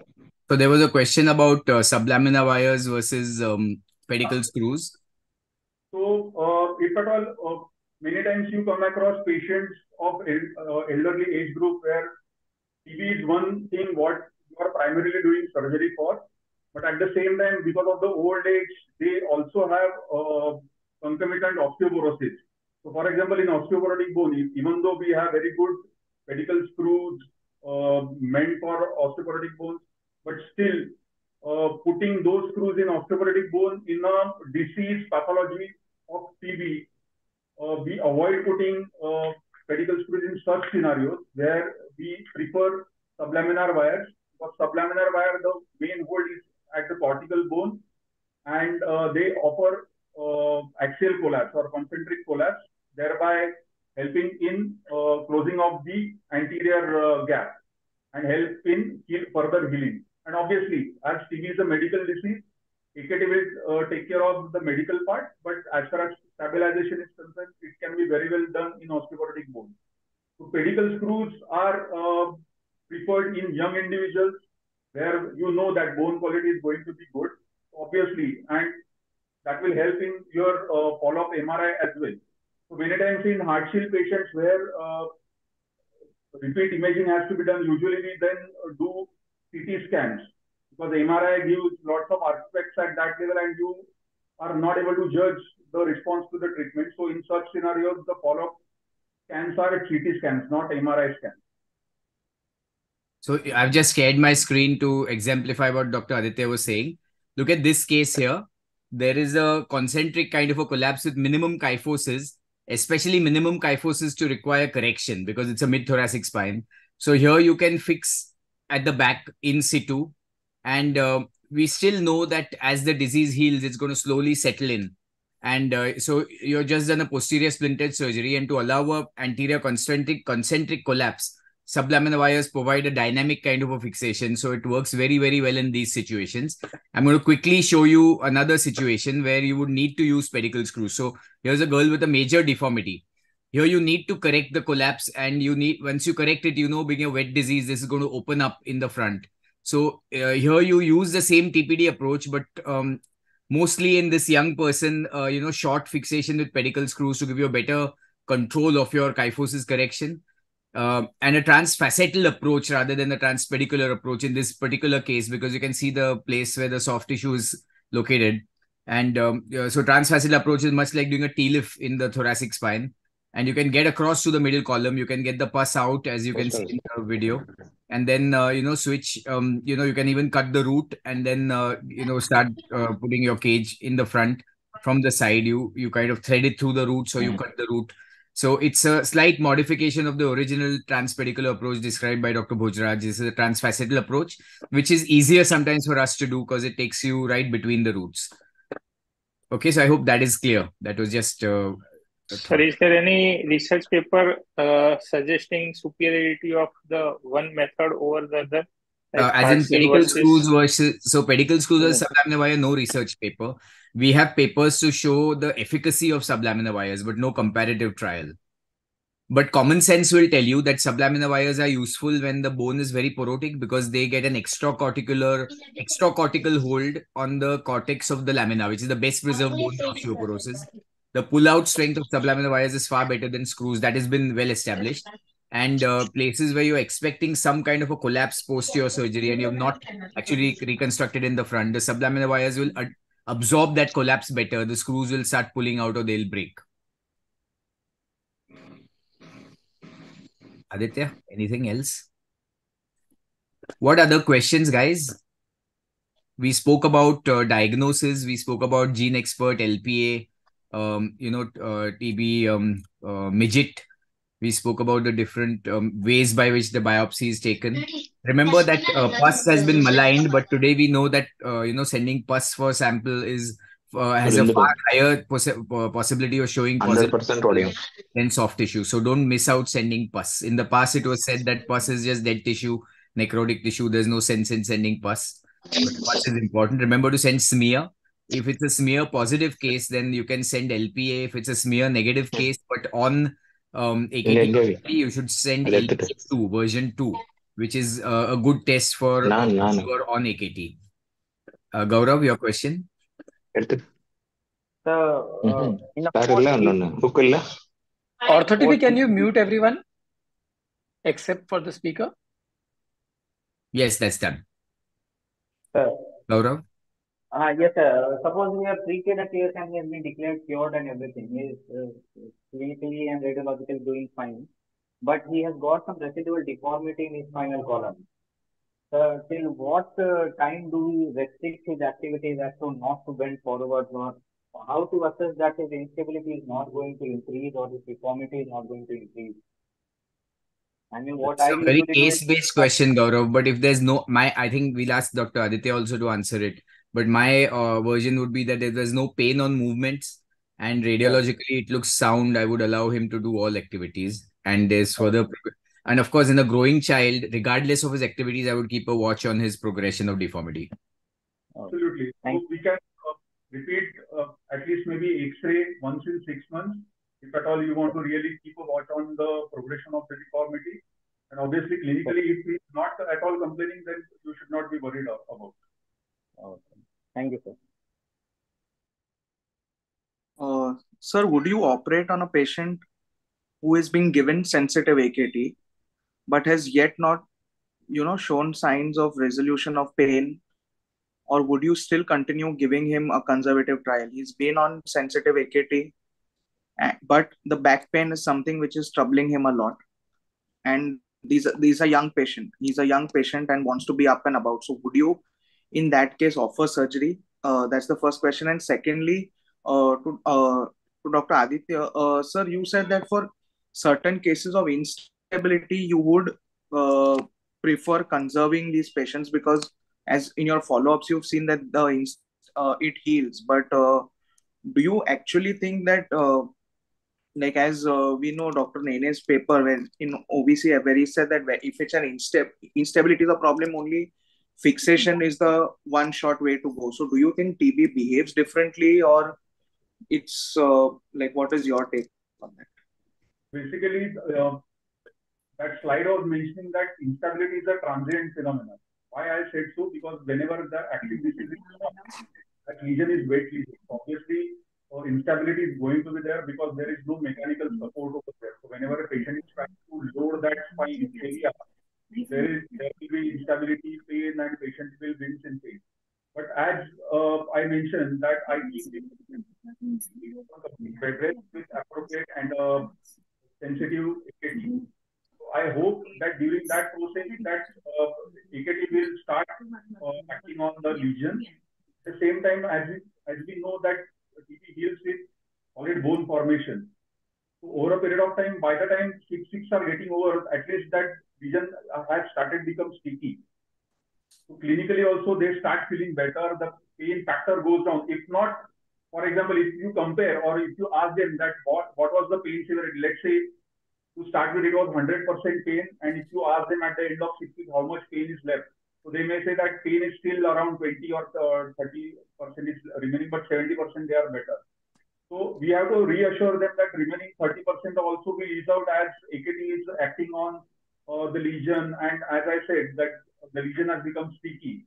So instability uh, part also gets better, and eventually that heals with solid bone formation. So that's the reason why I said that in instability also sometimes you can just go ahead and do uh, continue with your non-operative treatment, if at all, if at all.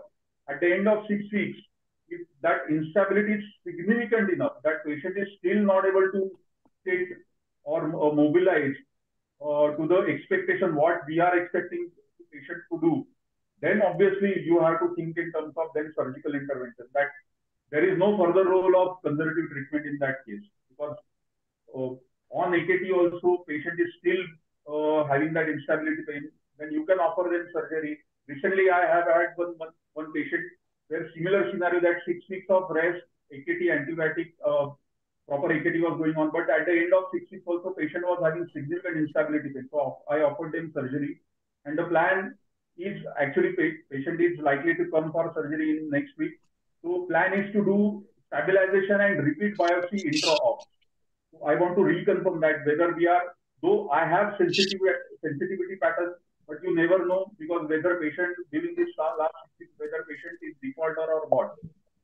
So uh, go ahead, stabilize the patient and repeat the biopsy. And would you do like, uh, have you, uh, like, as you said that now she's, since she's on six weeks AKT, So what are the tests which will you know give you better value? Like because uh, as the question on the group was asked that when is it the like, which will be the sensitive test after six weeks AKT? Line probe assay or probably uh, histopath or what would be a biopsy test will remain same. What I showed you on my slide, that nine tests usually I ask for. So you have to repeat whole set of investigations. You cannot really uh, pinpoint or uh, pick up only one or two out of that. Because you never know that if, if at all, for example, if at all any fungal thing has come up and caused any additional infection, which is very rare, I'm talking about imaginary scenario, but you never know. So always, always go ahead and get full throttle all tests uh, we have to do it on that sample. Don't do it one or two tests. Okay, thank you. I think most of the tests have some amount of false positivity. So it is always better to reconfirm if you're any which way is going to do a biopsy. Agree, agree. Yes. Aditya sir क्या बोलिए sir sir sir sir एक तरफ sir जैसे हम gene expert TB कर रहे हैं और सर टीबी बैकटेक भी कर रहे हैं तो सर ये दोनों का थोड़ा सा वो जो पीसीआर वाला मेथड है वो ऑलमोस्ट सेम नहीं है तो थोड़ा सा रिपीटिशन सा नहीं हो रहा है इन दोनों टेस्टों में? टीबी बैकटेक में और जीन एक्सपर्ट टीबी वाले में? बट uh, आप दोनों में टाइम पीरियड देखिए। जीन एक्सपर्ट का रिपोर्ट आपको दो uh, दिन में मिल मिल जाता है। हाँ। If at all you know in two days time that we are dealing with MDR-TP, you can start that uh, second line treatment along with your physician's opinion then and there only, other than waiting for backtech report to come at three weeks or six weeks. और और बैकटेक इस पुरानी technology ना तो उसमें dead bacilli भी pickup हो जाते हैं। अच्छा। एक्सपोर्ट में डेड बैसिलाई नहीं पिकअप होते। जी जी। और और सर और सर सर सर सर जितना बायोप्सी इंपॉर्टेंट है उतना ही लाइन प्रोब ऐसे भी इंपॉर्टेंट है। सर मतलब कि कराना ही कराना है। Is the statement correct line probe assay का फ़ायदा है कि वो it can tell you drug resistance to multiple drugs not just two drugs in specially when you are suspecting MDR and hence the the dictum is के जो बंदा already एकेटी पे है uh, जैसे अभी जो आपने ज़िक्र किया जो छह हफ़्ते एक आठ हफ़्ते ले चुका है उसको लाइन प्रोब ऐसे ज़रूर कराना है बट अभी line probe assay version two आया है जो एक्स्ट्रा पल्मोनरी टीबी में फ़ायदे का है बिकॉज़ उसमें स्मियर पॉजिटिव की ज़रूरत नहीं होती है एंड एक्स्ट्रा पल्मोनरी टीबी ये स्मियर पॉजिटिव रेयरली होता है। जी जी। और और सर जब हम जब हम बोन का पीस ले रहे हैं तब तो कोई स्मियर वगैरह नहीं बना सकते हैं। करेक्ट करेक्ट ठीक thank you sir Sir, when Sir. we are uh, fixing the uh, tubercular spine with pedicular screw, uh, what is your opinion? Should we fix also the uh, damaged vertebral body or should leave it alone? It depends if you're needing to save levels. Uh, if the situation is that you need to save levels, like you're in the lumbar spine, तो एक index screw डाल के you can you know put a screw in the pedicle because the pedicle is rarely inflamed in the TB spine but if you don't need to save levels then आप उसमें you know you don't want to put a screw so mid thoracic may you would spare uh, the disease vertebra but in lumbar you would you know use it. Sir how would you treat defaulters in uh, Pott spine sir? So uh, again that's a medical treat uh, yeah aditya sorry. Go ahead. Sorry sir. Go ahead go ahead. Uh, i was just saying uh, dr Harshal do you want to take this question So, so defaulters is a medical uh, question, and defaulters have to be, uh, you know, they, they are normally tested again because they develop secondary resistance. So, if there's a potential for doing biopsy and sampling again, you should do that and then uh, refer them. I mean, ideally, refer them off straight away to the chest physician because a complicated regimen is put forward. Assuming rarely that their sensitivity pattern is the same, then you can uh, just give them a full, you know, full round of uh, primary treatment again. Shashank? Uh, so I have three uh, questions. Uh, it's basically open for all, sir. Uh, one, as we said, that we have to collect two samples, sample A for histopath and sample B for all the eight tests which we have described. So I just wanted to know the practical uh, chances of getting a negative test on holding the sample. Sometimes like we operate and the sample remains with the relatives or in the hospital campus. So what is the duration we should we should process the sample within time? Uh, uh, can we just uh, take one question at a time? That yeah, yes, sir. Yes, sir. I'm waiting for the answers. So, Harshal, can you take that question? Uh, yeah, so I, I don't have an absolute answer to it because of the availability of resources with me. But I think within 24 hours, most of our samples are processed or at least gone to the lab. Uh, uh, we have actually now a practice of preserving, taking a three sample, and we preserve one at minus four degrees in our hospital because recently we have found some brucellosis also. And uh, if everything comes negative, we send that sample to the animal uh, testing centers where actually brucellosis is kind of uh, assessed. So, so we have we have that technology available with us. So I'm really not sure about the duration of holding period and the uh, consequence. But anybody else has an opinion, please. Can I take that question? Yeah, yeah. Sure, sure, sure, Tausif. Yeah. Yeah. So a holding period of uh, any sample for uh, TB culture is in between 24 to 72 hours. So uh, uh, if it is preserved and uh, at uh, like uh, uh, uh, less than minus 4 degrees Celsius in refriger- uh, refrigerator basically. Okay, thank you. And uh, you have already asked uh, answered my third question itself, sir, uh, because I was just going to ask, like, if your sample comes negative, what is your last uh, step would you you would go for? And you said that you, most of the time it is brucellosis which you uh, So every find out. every time when we have a suspicion of an infection, definitely our uh, TB test guys are involved. But also nowadays we uh, involve IND guys. So sorry, uh, infectious disease people, so ID people, and and then we kind of take over. Uh, let them take over the medical part of it. Uh, as as as we have discussed all throughout, that there are two aspects of the treatment. One is medical management, and one is surgical management. So neurodeficits, instability, compressions. These are the aspects that we focus more on uh, in consultation with the team, which is multidisciplinary approach. Yeah. Okay, thank you, sir. And uh, last question is like, uh, what is your antibiotic backup which you give for the patient when you operate any surgery along with AKT going on? So like for how much duration? Because uh, last time uh, there was a uh, fellowship uh, program headed by Dr. Agashe, and in normal terms, he says that we usually give a dose of antibiotic, whatever, in any surgical procedure, one hour within one hour of the starting of the surgery. If the surgery long lasts for four hours, then we repeat post-operatively and intraoperatively one dose of antibiotic. That is enough.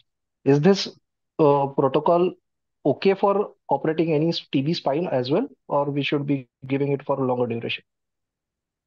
So I'll, I'll, I'll take that question again. Uh, normally, because we are going to take sample, we don't give antibiotic until the sample is taken. So uh, so that we do, and largely if the surgery is gone more than three hours, uh, then we typically, uh, I typically personally give the second dose of antibiotic. But I would say in international literature, you would not find the same. Okay. So that like uh, intraoperative one sample po uh, post taking uh, the sample and Yeah. one after that, and that's enough antibiotic dose which you will be giving even when the AKT is going on. Yes, yes, yes. Okay. Yeah. Thank you. This as any other uh, uh, surgery? Yeah. Mustafa, your Yes. question. Thank you very much. Uh, wanted to ask uh, if you have an L5 collapse, completely collapsed L5, how would you approach that? So that's a tricky area. L5 becomes a tricky area to approach because uh, you know it's uh, it's the base of your spine. So to to answer your question, my pers- my approach for L5 collapse which needs stabilization would be two screws in the ilium. So two S2A, you know, one iliac screw, one S2AI screw. Um, probably one screw in the sacrum. So you got like six hold points below. Go two above, which is L4 and then L3, and then reconstruct L5 uh, I currently do it from the back. So I put a cage through from the you know trans uh, facetal approach. You thread the cage through and you col- uh, compress. Optionally, in the past, I've done ALIFs. So you do back fixation, go in the front, and if you are able to reach, you know, I normally go transperitoneally and uh, uh, dig this out. The problem is that when you take out the L5 body, you're working on the L45 disc, which is at the bifurcation of the great vessels. So you know you can have a tough time. And uh, so today now I prefer to do it from the back. use the same transpedicular approach. Yes, to, absolutely. to. Absolutely. I'll maybe while we are talking, I'll pull out some cases to show you.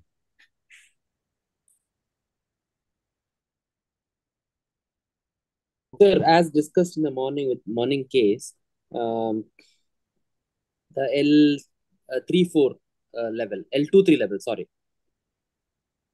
Hello. Yeah, yeah. Go ahead. Please go ahead. Yeah, yeah. L two three levels in the morning case. Uh, is there any role for only anterior uh, fixation uh, in that case? So Because- uh, actually, yeah, yeah, carry on, carry on. Yeah. No, sir. Please carry on. No, so basically, uh, why do you want to do anterior when you have a better approach available posteriorly? That's what my uh, thought process is. Uh, but yes, anterior can be done for that. Uh, but the hold of a post pedicle screw is much better than any other screws in the body. So I would I would uh, tend to do a posterior, all posterior, because I don't want to give two scars and two surgeries for the patient. Yeah. No, no. If if I go posterior, I'll have to fix till L five, and L five S one will become a junctional point. Two level up, two level down. That's what we Okay. usually practice, sir. So Okay. uh, what we do in our center is we'll do just anterior uh, approach with a big iliac crest graft, Okay. and we done to this, to uh, around 10, 12 patients, sir, and they are doing fine. And we have avoided uh, this posterior approach as well. Uh, just that their uh, uh, what do you say post-operative mo- uh, mobility becomes a bit uh, delayed. We take it a bit guarded after two weeks or three weeks. We uh, let them uh, bear weight and walk, sir. Right. Yeah, that's a very valid approach, and uh, uh, Vaishak, because that was the approach used in the past, and uh, even today, I think it's very, very valid. The problem is that most surgeons don't know how to approach anteriorly, so you can actually save a level by going anterior. So I think that's a good point you brought about. Tosif, question? I'll, Yeah. I'll So- just put up the uh, post-op X-ray for that patient if I can find. But yeah, Yeah, uh, I have that. Yeah. Yeah. So So this was the post-op, I think, C-arm image of that uh, person. We went to L4 only, and this was done for her. So that looks good. You've uh, still saved that one level. But I think this has to be case to case basis and surgeon uh, training also. If you're well trained in doing the anterolateral approach, then I think just putting a bone graft there is an option. However, then you have to protect the patient because in the lumbar spine, you know, there's rotational instability, unlike the thoracic spine. So, you know, you will have to protect the patient. Tosif? Yeah. So uh, my question is uh, like in today's era, uh, uh, where do empirical AKT stand? Because uh, like uh, if we consider international literature too, the culture positivity of any sample stands between 70 to 75 percent. So, uh, like, how many times to repeat biopsy uh, for that 25 uh, 30 percent patients? So And, to uh, take that uh, question, Tosif. Yeah. So the I think you're absolutely right that it's not easy to get culture positivity in uh, TB. It's an extra TB spine. It's an extra pulmonary tuberculosis, and hence it's a paucibacillary disease. And hence to get culture and smear positive is not that easy. Uh, the methods of doing biopsy in the spine are still quite primitive in most areas in the country. So there's a struggle to do that. And uh, by statistics, the rate of MDR TB in um, spinal tuberculosis is far lower than MDR TB in pulmonary tu- uh, tuberculosis. So I think there is still a role of uh, empirical AKT in today's era in endemic countries. Um, the only caveats today are that uh, if you're clinically, radiologically sure of the diagnosis, remember there's a 10 to 15% chance that you will still be wrong. And you need to share this data with the patient when you start him on empirical treatment. You need to tell him the reason why you're starting on, on empirical treatment and the fact that, uh, you know, it is guesswork and it's a statistically, uh, you know, prudent uh, treatment, but things could go wrong here forwards and give him a choice of doing an open biopsy if you have to.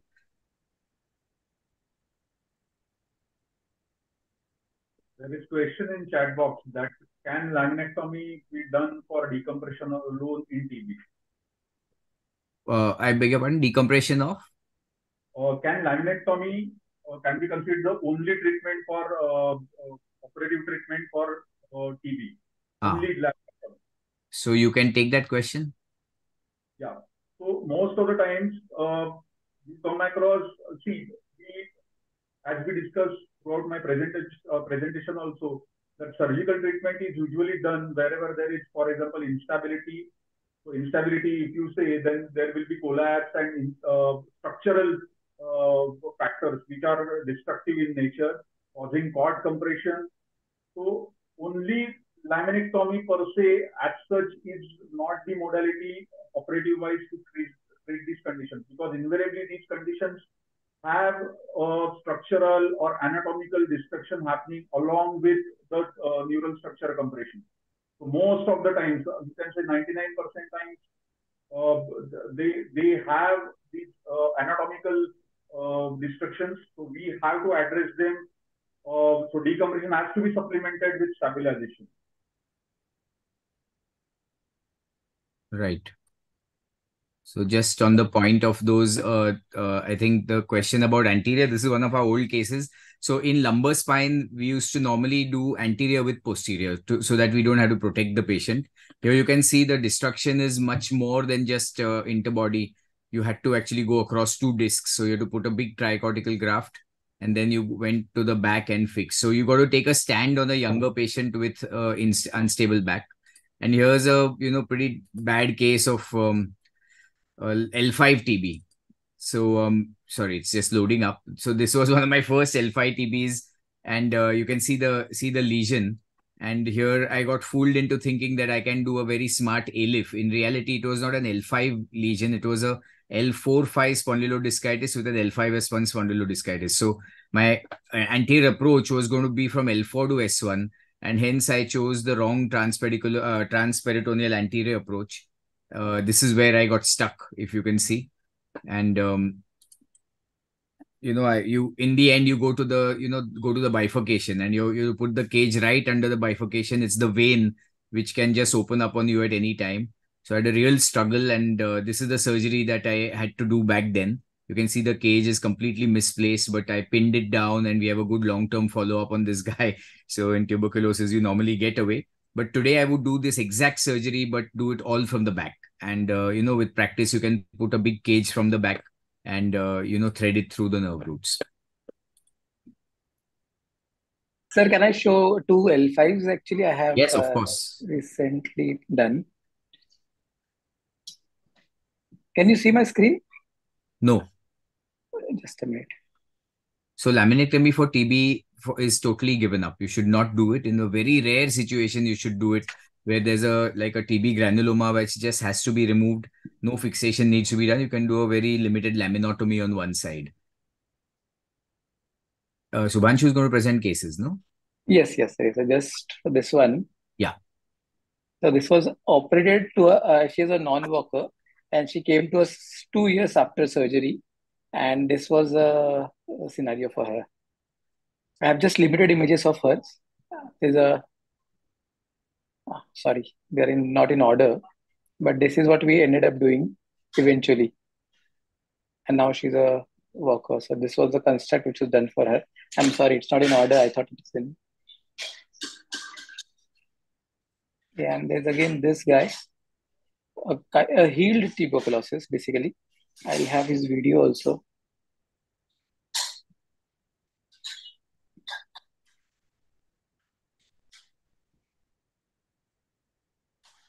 Uh, lumbosacral kyphosis and bowel and bladder involvement.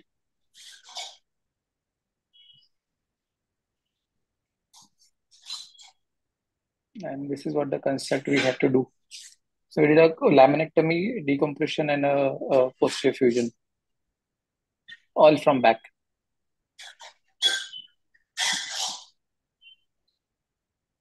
Sir, are those S2 or the LR screws, sir? S2 LR. S2AS.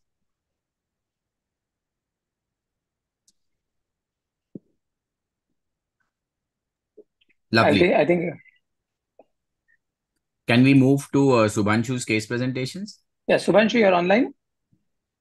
You're muted, Subhanshu. Yeah, I'm here, sir. Thank you, sir. So we can continue the questions, but we'll try to make it uh, into a good mix by showing some cases. Mustafa, your hand is still up. Do you have any other questions? Thank you very much, Dr. Neil. The other question I had would- in cervical spine, uh, do you do cage with a plate or cage alone with cortical graft? I think in tuberculosis, always cage with plate. In degenerative spine, you can you do a standalone cage or a standalone bone graft. But in uh, tuberculosis, you would always want to because the end plates are inflamed. You see, mostly when you put the bone graft, it's in bone that is inflamed. So the bone graft or the cage is likely to countersink, and you need to protect it.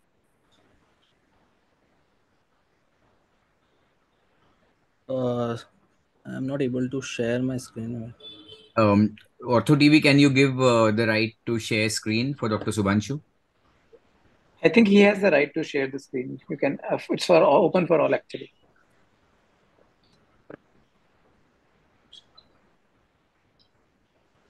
You want it, No. Subhanshu? You want me to do it? Uh, yeah, sir, if you can. The same same TV, same uh, slides which you should send to me. Uh, no, I made some uh, edits. So send me immediately. Yeah. Yeah, sure. Meantime, try by yourself. Any questions? Meantime. In the meanwhile, uh, I would like to all all delegates that uh, whenever you come across these kind of patients in your regular practice, uh, if you are uh, belong to second or third tier city, so how do you approach at your setup at your given place? Anyone would like to take this question?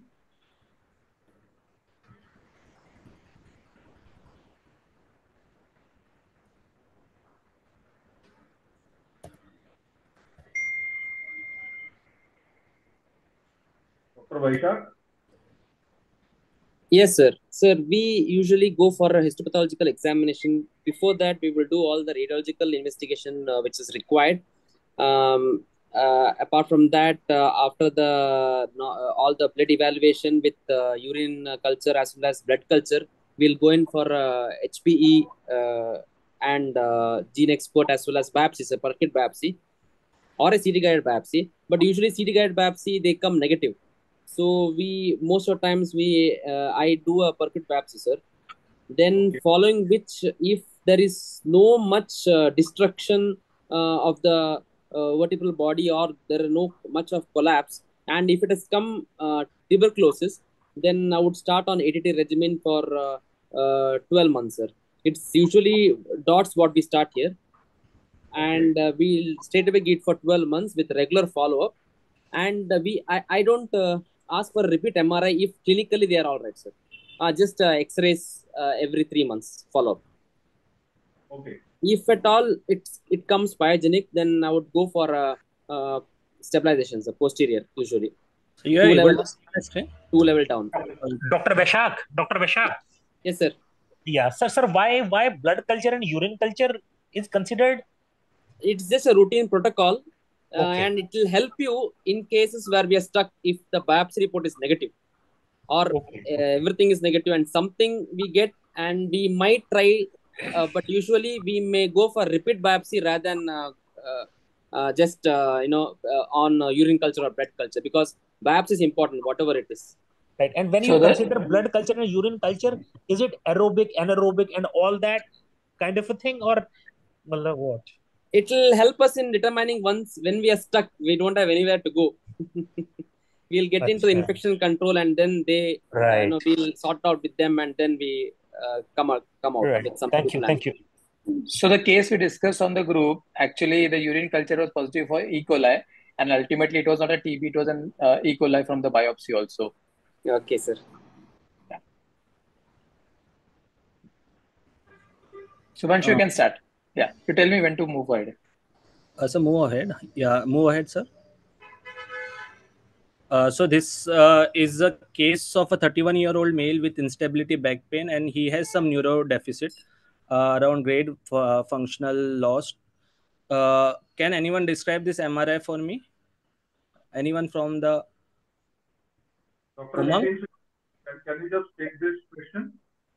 what what Dr. Nitin Singh? Yes, sir. Can So the just yes, sir. So the MRI shows destruction of L5 vertebra with T2 hyperintensity along with certain soft tissue shadows present. Matlab, matlab, Correct, correct. You're saying in correct. the, in the in the PLL area Yeah, and and some some some softer shadows in the anterior longitudinal ligament area yeah. and and there is spondylodiscitis present over L5S1 Correct, also and and there is there is some extruded fragment at the L of the L5 chondral inferior vertebral end plate yeah Correct, correct. Anything else? Anything else you are seeing in front of sacrum? Yeah yeah yeah yeah yeah yeah there is there is there is there is there is pre-sacral mm, abscess Correct, correct. So, what you Yes. want to do for this case? so for, Going for forward. so for for this case so there is there is 31 year old male front of action so getting hematological parameters Okay, which would include hemogram crp Yeah. quantitative okay. and uh, and and taking taking a transpedicular biopsy of uh, l5 Correct, correct. So, uh, we did the transpedicular biopsy for this patient. Uh, sir, you can move ahead. And it is biopsy proven, uh, so back, back, biopsy proven TB, so back, back. Yeah. So, now what you want to do further? He is having instability back pain, neuro is also involved. sir sir sir sir this patient will also be subjected to that line probe assay and we will know that is he sensitive to primary drugs or secondary drugs Yeah, So- he's sensitive to primary drug. We started him on AKT also. yeah but yeah yeah, he's he's saying yeah, I am having instability back pain, I am having weakness.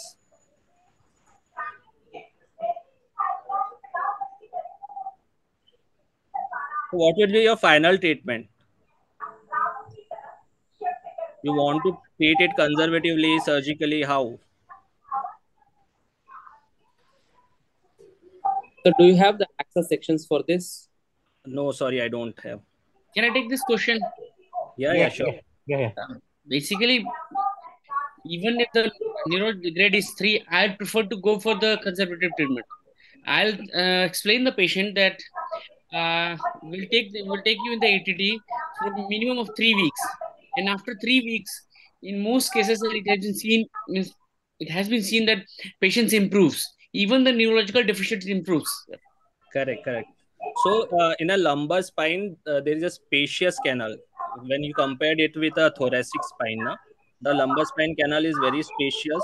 The nerves are floating inside, and that's why the patient usually present very late when there is any neurodeficit or any deformity. Since the weight bearing area is also going posterior, it's not anterior. They also present very late when the bony destruction is maximum, and wo- you won't be able to appreciate any kyphosis or anything there. Correct. So what we did here is uh, we uh, counseled them regarding the course of treatment, and we said that ki, we will observe you for six weeks, and within three weeks he started showing uh, improvement is neurologically. And uh, sir, go ahead, sir, please. One. So this is the uh, one uh, one year follow up of the MRI, and you are able to see the uh, healing changes happening at the end plate also. You are able to appreciate it. Yes, it's visible. Yeah, correct. And uh, abscess is there, abscess, but it might have calcified and something, but it's not casing. It's most likely to be a sterile container. But other than that, it seems to be okay. Any questions anyone have for this patient? Sir I was wonder Subhranshu sir I was Yes. Wondering वो जो instability है हाँ हाँ वो instability TB की दवाई खाने से समय के साथ में कैसे ठीक हो जाती है because TB heals with arthrosis, correct? It gets fused, bony arthrosis. So normally it gets stabilized its on on its own. You're getting it? How is his bowel movement? Is there any problem with his bowel movement? No, no, no, no, nothing. So, sir, this person would have been on bed rest for for a little longer time, something like that. Yeah, we generally ask them to do a bed rest for three weeks after starting, after doing the biopsy, after starting the treatment, and then we mobilize them with a brace. And sir, what's the rationale for three weeks only? It it gave us an enough time for the soft tissue to heal. But sir, but sir, as as we were talking that these abscesses they can remain sterile containers for even even a one year. So I was wondering कि sir वो तीन हफ़्ते के अंदर में granulomatous inflammation कैसे मतलब इतना heal No, कर no, no, जाएगा I'm not talking about the the, the TB TB treatment I'll. Sorry, I'll intervene. yeah, yeah. Doctor Nitin is nothing like just तीन वीक में वो ग्रामेलोमेटस हो जाता है बट वी हैव सीन कि एक होता है ना आदमी को कि तीन सप्ताह तक देख लेते हैं अगर वो न्यूरोलॉजिकल डिफिसिट नहीं देता है तो हम ऑपरेट के लिए सोचेंगे बट ट्रस्ट में डॉक्टर साहब, मैं तो अभी बहुत रिसेंटली स्टार्ट किया हूँ अपनी लाइफ बट मैंने देखा है वो बड़े मज़े से टीवी वाला हील करता है। हाँ आपको पेशेंस रखना पड़ेगा और आपको काउंसिल करना पड़ेगा पेशेंट को। हाँ देर आर सम पेशेंट क्योंकि आप जिस शहर में रहते हैं what will happen if you are treating the patient in conservatively somebody will say, अरे बाबा, कल को न्यूरोलॉजिकल डिफिसिट हो जाएगा, ऐसा हो जाएगा फ़र्क so you have to maintain that कि नहीं, मेरे को नहीं करना है अभी because it will heal of I have seen Trust me, it will heal. In 90% it heals. G, G. Shukriya. Correct. As rightly said, as rightly described by him, I think the lecture with Dr. with what Dr. Aditya has taken has uh, given its effects right now. So we are going for the second case now, sir. Uh, this is 24 year old male with low back ache, bilateral thigh radiation, no radio neuro deficit. Anyone else want to take this MRI? I have marked also the pathology.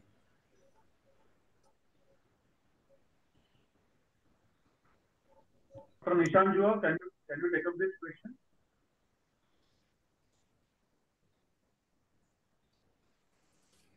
Dr. Nishan?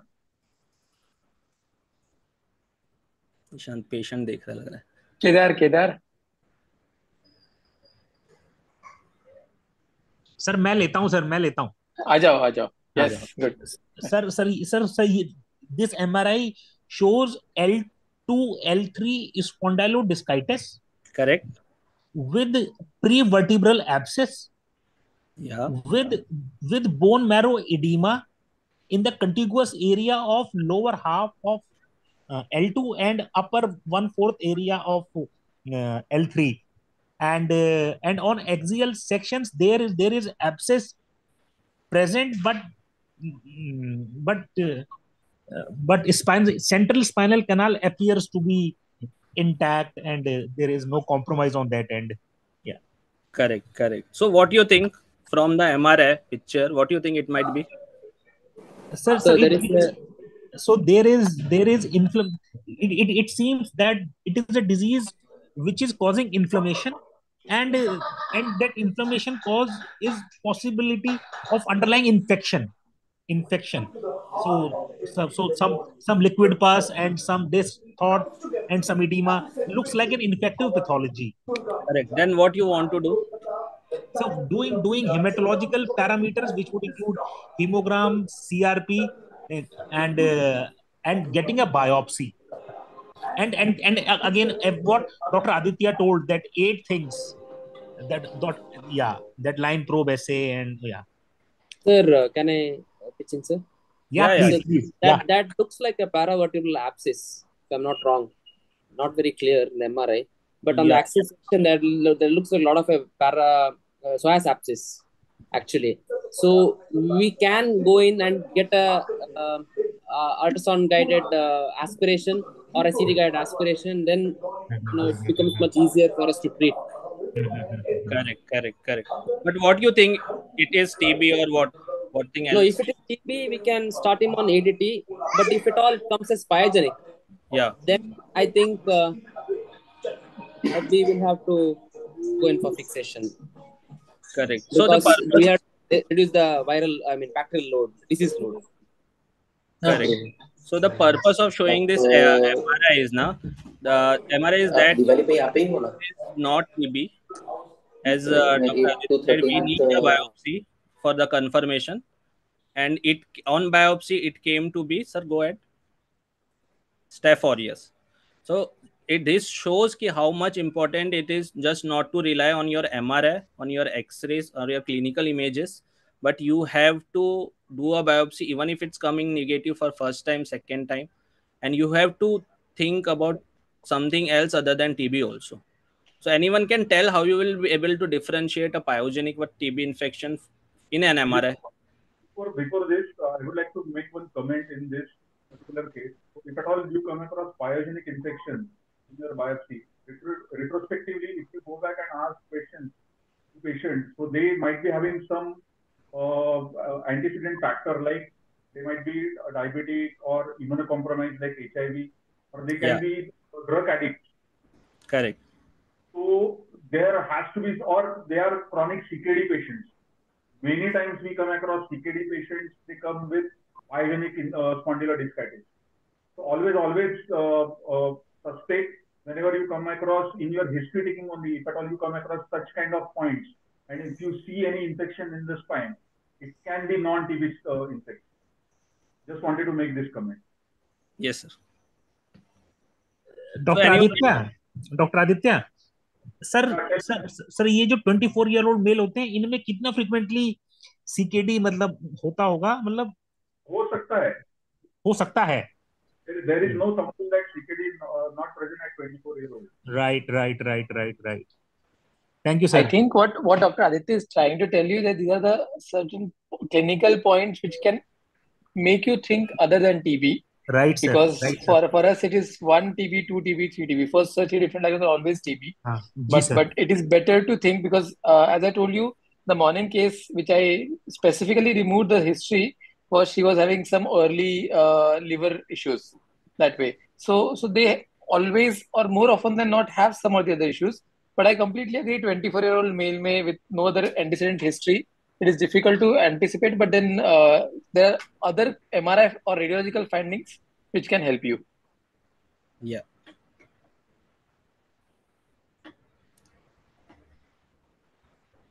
anyone can, anyone else can tell me what will be the difference bet- what is the difference between a pyogenic and a tubercular infection uh, which you can tell it might not be a tb obviously diag- uh, diagnostic will be a confirmatory diagnostic will be a biopsy but si- since this case came anything anyone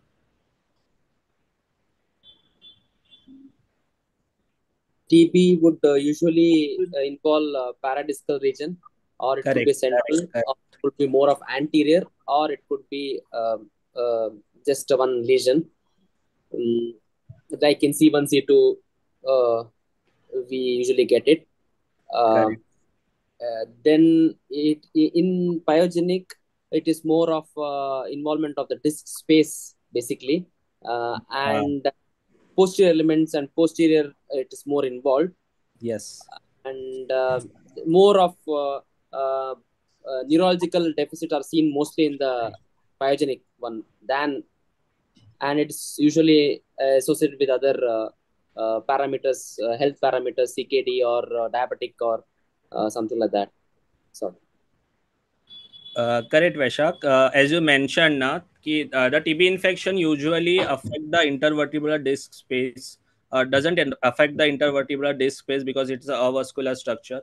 Also, uh, in TB, you might see a posterior element involvement, extensive paraspinal soft tissue involvement, multiple vertebral body involvement, uh, subligamentous spread, which you which as you can see in this case, you are not able to find it. There is no subligamentous spread uh, they, the disc is totally destroyed the bodies are touching so it indirectly tells you okay this might be something else but obviously you have to do a biopsy to confirm this So uh, thanks both of you for the answer, but I'd like you to like I'd like people to approach this question more holistically. You have to look at the patient first.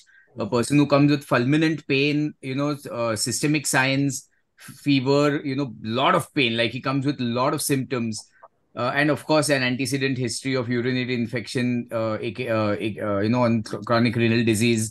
Uh, someone with a lung pathology which, who's like immune compromised. These guys become or a post-op patient obviously. These they become candidates who are likely for pyogenic rather than tb then you look at the x-ray. The x-ray in pyogenic is usually normal and i'll tell you the reason just soon pretty soon and then you look at the mri now the pyogenic infection normally uh, is very very symptomatic so by the time it affects you in a very short time the doctor uh, patient presents to the doctor and hence destruction is not a lot, and you will see less soft tissue. You will see more permeative edema in the bones, and of course, the disc space will have lit up. So it's it looks more dry and uh, you know less fulminant on an MRI. Uh, TB infection is a slow granulomatous infection where reactions are continuously happening between the infection and the immune system. So a lot of destruction is seen, a lot of soft tissue is seen before the patient actually presents. So that's how you would differentiate this, and hence the X-ray in a pyogenic is often normal, while in a TB it often shows uh, destruction. Thanks. Yes, thank you. Uh, sir, you can go ahead. So uh, this is 71 year old female with a lot of comorbidities, uh, with bowel bladder involvement and severe instability pain. Anyone, sir, bus stop here. Anyone else want to do anything? What they want to see? What is a biopsy proven TB investigations all suggestive of tuberculosis, uh, but she is having deficit Let's invite uh, Virendra. Do you want to take this, Virendra? If you're still there, take this. Yes, sir. Yes. Yeah. How would you Um, approach this? And this patient is having um, L5, 4, 3, 2. L1, L2 uh, destruction, gross destruction is seen in the MRI, and also the shadow posteriorly is impinging upon the uh, cord. So, first of all, neurology, I will like to examine the patient, and then uh, the usual laboratory investigation and biopsy should be done. If the biopsy comes for the tuberculosis, then we should uh, decompress the neural elements by Mhm. posterior approach and also one or two levels above and below fixation should be done, debridement thoroughly, and then we should also fix with the cage and bone grafts. Virendra, do you have any non-surgical uh, opinion for this patient? Is would you think surgery straight away? I think the answer is yes. You would think of surgery, Yeah, right? yeah, Because there's so much destruction, instability, thoracolumbar, junctional area, significant deficit. So then, what's the role of a biopsy? That was my question. Would you like to go in straight away, or would you like to Yeah, biopsy? no, biopsies must because sometimes uh, the other pathological organisms can also cause, and maybe possible uh, uh, metastatic lesion can also be there. So biopsy should be done. So, uh, without biopsy, you will not uh, do surgery in this case. Yes. Um, anyone else has any other? Because I differ in my opinion on this, but I'd like um maybe I don't know who is active right now. Well, Sir, you would, but- yeah. So biopsy means we'll be performing the surgery, we'll decompress and then uh same time we'll fix the and simultaneously we'll send the uh, sample Yeah. for the biopsy. Yeah, so intraoperative biopsy, obviously, no one will go without it. But uh, Virendra wants to do a biopsy before he plans his operation. And I think the role of that is only if the biopsy result is going to change your plan of treatment. If your biopsy result is not going to change your plan of treatment, uh, you would not do a biopsy. The likelihood of the biopsy showing anything that will make me plan differently, I think, is low. Even if this is a cancer, you know, which is unlikely to be because of the spondylodiscitis even though the cancer my treatment remains the same i have to surgically decompress fix and uh, Yes, there's no role of an en bloc excision. I mean the issue of biopsy would come that if the, it turns out to be malignancy i would plan an en bloc excision rather than a curettage and uh, you know reconstruction. Then i would uh, force myself to do biopsy pre-op. The other place where i would do a biopsy pre-op is if there's a scope of a non-surgical treatment so that's the reason why in this particular case, I would go straight in and do surgery rather than do a biopsy. And because it will take a lot of time, it'll take two or three weeks before all the data from the biopsy comes out. Um, Virendra, do you still do you want to say something? I mean, I, I don't know. No, you are right, sir. Uh, the biopsy can be done as, as in the In, it is the part of the shall I say. treatment. Yes, sir. yes, perfect, perfect. Subhanshu, go ahead. Uh, anything else want to any uh, so we decided ki we want to go for the surgery uh, other soon inve- will any, anything else you want to do before we go How further soon will you? How What, soon will you We get? can we can rule out all the other possibility of uh, neoplasm or the test, especially HCT. no no we we have decided we want to go for the surgery correct now uh, uh, if we want to plan for a surgery what other investigation we would like to do you would like to do Whole spine, whole spine MRI, correct and also the if neoplastic lesion is in the mind, then we should also call for the PET We, CT. we have to we have to look for the skip lesion. That's why we'll go for Yes. the screening of the whole spine. Yes, sir. Okay, okay, okay. So what uh, answer I was expecting is an X-ray because MRI will always going to show you a gross destruction. We are planning for a surgery. We want to see whether where we can put our anchors. Uh, that's what I wanted the answer. Sir, go ahead. So uh, this is the X-ray, and in the X-ray, as you can see, there are the the the sec- two, two vertebrae is not completely destroyed. So we did a CT scan. Sir, go ahead. This is the CT scan of the patient, which is showing left-sided more destruction compared to right-sided. So now, what what would be the plan? How we, uh, what what you will what will you do? How you will decompress anterior, posterior, all posterior? It is the all posterior, and also we have to debride all the dead tissues which are found out in the operative procedure, and uh, anteriorly we have to fix with the cage, Yeah. and two levels above, two levels below, pedicular screw fixation. Correct. Here, I'd like to make one comment. You say intra So we are not able to hear you, sir. Aditya, sir. You can carry on, Subhanshu. हाँ sir, we are not able to hear you. No.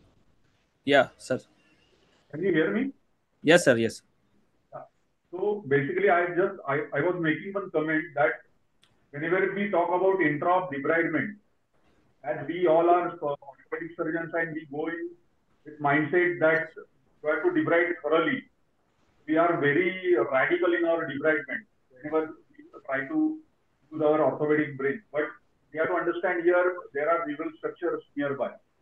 And as TB is a medical disease, so even if you see uh, there is granulation tissue, uh, tissue or muck over there, which is uh, surrounding the neural structure. Try to take out within safe limit.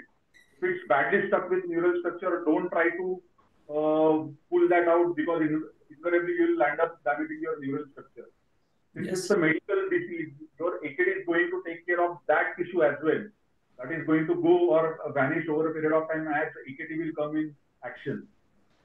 So uh, try to be conservative as, as far as your debridement is concerned uh, in these uh, cases. Dr. Aditya, Yeah.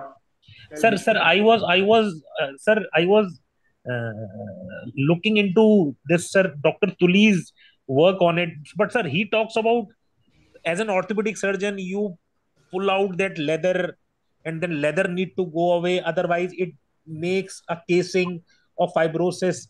So, No, no, I am not saying that you should not be doing debridement. You have to do debridement. But only thing is, right, uh, considering not to damage the neural structure. That that is the only message I, I would like to give. Because invariably, जोश में हम लोग we, we try to do as more as possible. Sir sir sir मैं ये बात इसलिए पूछ रहा हूँ क्योंकि शायद मैंने उसी जोश जोश में वो ग्लायोसिस हो गया तो आई थिंक कहीं पे कुछ एरर हो गया कि कम करना चाहिए था बट वो वो स्ट्रिपिंग के चक्कर में ज़्यादा स्ट्रिप हो गया तो शायद यहीं पे कहीं पे मेरे को Uh, in बैलेंस नहीं TB, मिला no, with the advancement of microbiology and uh, pharmacology, most TBs heal with medicine. So your job is not to do aggressive debridement. It's not a cancer or a you know tumor that is radio resistant and chemo resistant that needs to be removed or debulk. In TB, um, you have to just cre- uh, rec- you have to get the principle of surgery is biopsy, good sample. The principle of second principle of surgery is reconstruction, and the third principle is stabilization. So these can be done with um, optimum debridement. I'm going to say so. You don't need to go and take out bulk and bulk of tissue like Dr. Aditya commented, because you're going to make it harder for yourself to do the reconstruction and the uh, you know for stabilization. You have to Sir, rely on drugs to treat the disease. Sir doctor Tuli says कि वो जो पेरिड्यूरल fibrosis है ना वो अच्छी चीज़ नहीं है उसको हटा देना बट कहाँ दिखता है ग्रैन्युलोमा दिखता है उसकी अगर चेन भी आप ब्रेक कर दो you don't see peridural fibrosis You see granuloma that encases the dura. Yeah, yeah, yeah, yeah. Granuloma is like a bangle. If you can just disconnect the bangle and then Hmm. allow it to, uh, you know, uh, dry up with medicine, that's good enough. The constricting uh. effect should go away. हाँ sir sir वो जो bangle है अगर उस bangle में से एक segment को निकालें sir I was talking to doctor Tuli in person then he he use the same argument as you are saying कि वो जो बैंगल है ना उस बैंगल में से एक सेगमेंट को बाकायदा निकाल देना चाहिए तो तो उसको करने में थोड़ा सा तो वो रफ हो ही जाता है जब उसको निकालते हाँ, हैं वो थोड़ा सा ट्रिकी है। But what I am trying to say you don't have to strip the whole bangle out जी जी। यस यस यस हटा दो बाकी पिघल जाएगा। सो द चांस so जी। of course there's a chance of neurology when you're doing a epidural abscess you know not an abscess an epidural granuloma. जी। But वो थोड़ा सा हल्के से करना पड़ता है because there's no other way around it. Thank you sir Uh, Abhay sir, just one uh, quick comment from you. Uh, you told that you will do this without uh, doing a biopsy, or maybe you can do a biopsy intraoperatively. But retrospectively thinking, if it turns out to be a metastasis or something like that, would you not want to know it's a it's more vascular a tumor and uh, plan your uh, development accordingly? So normally, you know, when you look at the MRI, you're able to look at the vascul that kind of a vascularity. You know, if it's a hemangioma or that kind of a vascular tumor, you will on it'll look very bright on the MRI. So this one does not scare me. So if, even if this turned out to be tumor, which I'm positive it's not looking at the MRI, I Yes, would yes. uh, still I don't think do a biopsy from that aspect. So next, sir.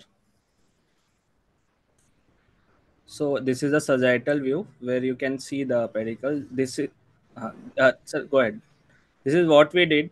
We did all posterior. Uh, we decompressed from the posterior and we put a cage. So Paul, go ahead. And this is the final picture of the patients. So you are able to see we went three above and two below and with a good mesh cage, making a bone to bone contact so that the anterior reconstruction can also be done.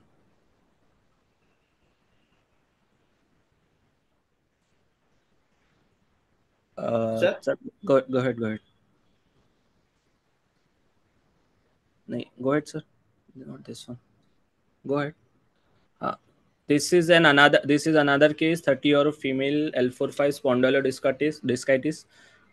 अरे, किधर गया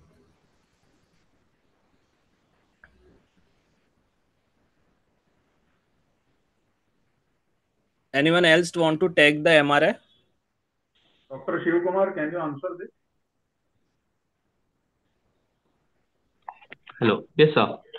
So this is MRI showing uh, spondylodiscitis with a pre-vertebral abscess, paravertebral abscess, as well as the there is abscess in the epidural space also, which is compressing the rootlets. Yeah. And uh, there is involvement, hyperintense section at the L3-4 level, so earlier involvement, which is not that evident in the other section. Correct. And uh, in the axials, there's a good amount of psoas collection on the both sides. Correct. So what do you want to do further? If the pa- I will go think of two terms. If the patient is neurologically intact and well preserved without any sta- uh, instability and all, there is, there is a neurology. There is neurology involved. neurological. Yeah, Neurologically, patient what exactly it is. If the grade is less than three, I would think of surgical terms. If it is more than three or three, I still consider uh, conservative. Okay, so what you will do again? First, we'll get uh, the whole spine screening, and uh, I'll plan for if the neurology is very worse, I would go with fixation as there is instability and the neurology is also there, and uh, good decompression with uh, S S2, S1, and S2 iliac, and uh, two level above fixation. Okay. Anything else want you want to do before any MR, any CT yes. scan, any MRI screening is needed, must and should. Yeah, so MRI screening we did, there is no skip lesion. Now, So that's what I told my plan. If there is no any skip lesions or anything else, I would go for two level above fixation S2, S1 and S2 iliac. with the biopsy. Uh, sir, go ahead. So this is the X-ray of the patient, which is showing the gross destruction. The MRI is showing gross destruction of L5 again, but in the X-ray you can see the vertebral end plate, inferior end plate is still maintained. Uh, sir, go ahead. And uh, this is what we do. We, we did. So go ahead. Yeah, we So- just saw the case being shared by Abhay. Yeah, yeah. So this is Sir's case only. So this is what we did. Yeah. These are some of the Actually, cases. this case was different than the one I showed, huh, by the way. No, no, this, this is very different. I Ah, this is done from the back because I had failed from the front the first time. That's why we've done it from the back. This is just the lesson learned. Yeah, yeah. This is a different case. Yes. So uh, we uh, these are all Abhay sir's case only. Before he used to do anterior also. So this is how he used to do all anterior, where anterior and posterior also, where he used to put anterior graft by opening. Uh, by the advantage of having anterior surgery, you will be achieve a good debridement, bony to bone contact and graft. But the uh, as Sir said, the chances of failure is much more because you are going to have a less uh, screw purchase and everything. Uh, excuse me, sir. Yeah. Abhay, sir? Yes, yes, I'm here.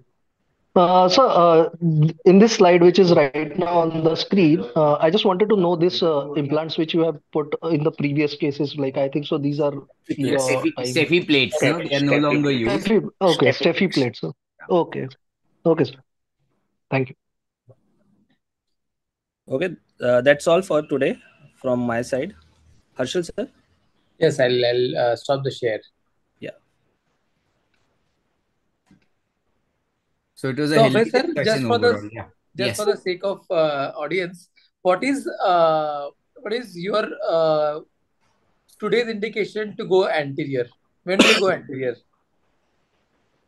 Very, very little indication to go anterior, but if anything, then it is if I've opened up a big deformity, I would like to fill in anteriorly, but really almost almost no indication for me to do a pure anterior surgery because now I, we can approach mostly even the bony gibbus from the back. So um, Yeah. in TB, almost no indication. And uh, I've seen you in my in your practice, like I've been with you for some time, so I've seen you conserving the significant neurology, so-called less than three also. So just just for the sake of patient Yeah, uh, again, delegates, to- yeah. Uh, in the bo- I'll be too bold, but tell you that I've almost never seen a p- patient with TB spine deficit not recover. If it, if they don't undergo surgery, they still recover. But like someone pointed out, they do uh, retain some sp- uh, uh, spasticity in their recovery, but they recover even from the worst case scenarios. So having said that, uh, nowadays I would still not, uh, you know, non-walker. I would still offer surgery. okay So that benchmark of uh, level or grade three or less doesn't hold as much truth as it is uh, supposed to. Uh, I would agree, but I think the message should not be that. Yeah. You're, you know, you should be able to absorb, uh, you know, that kind of a deficit. So the message should be that non-walker, you should offer surgery.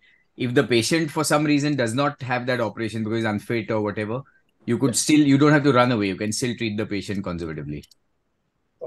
Shiva, question from you? Uh, so my question is, how often do you take the iliac crest tricortical graft for reconstruction?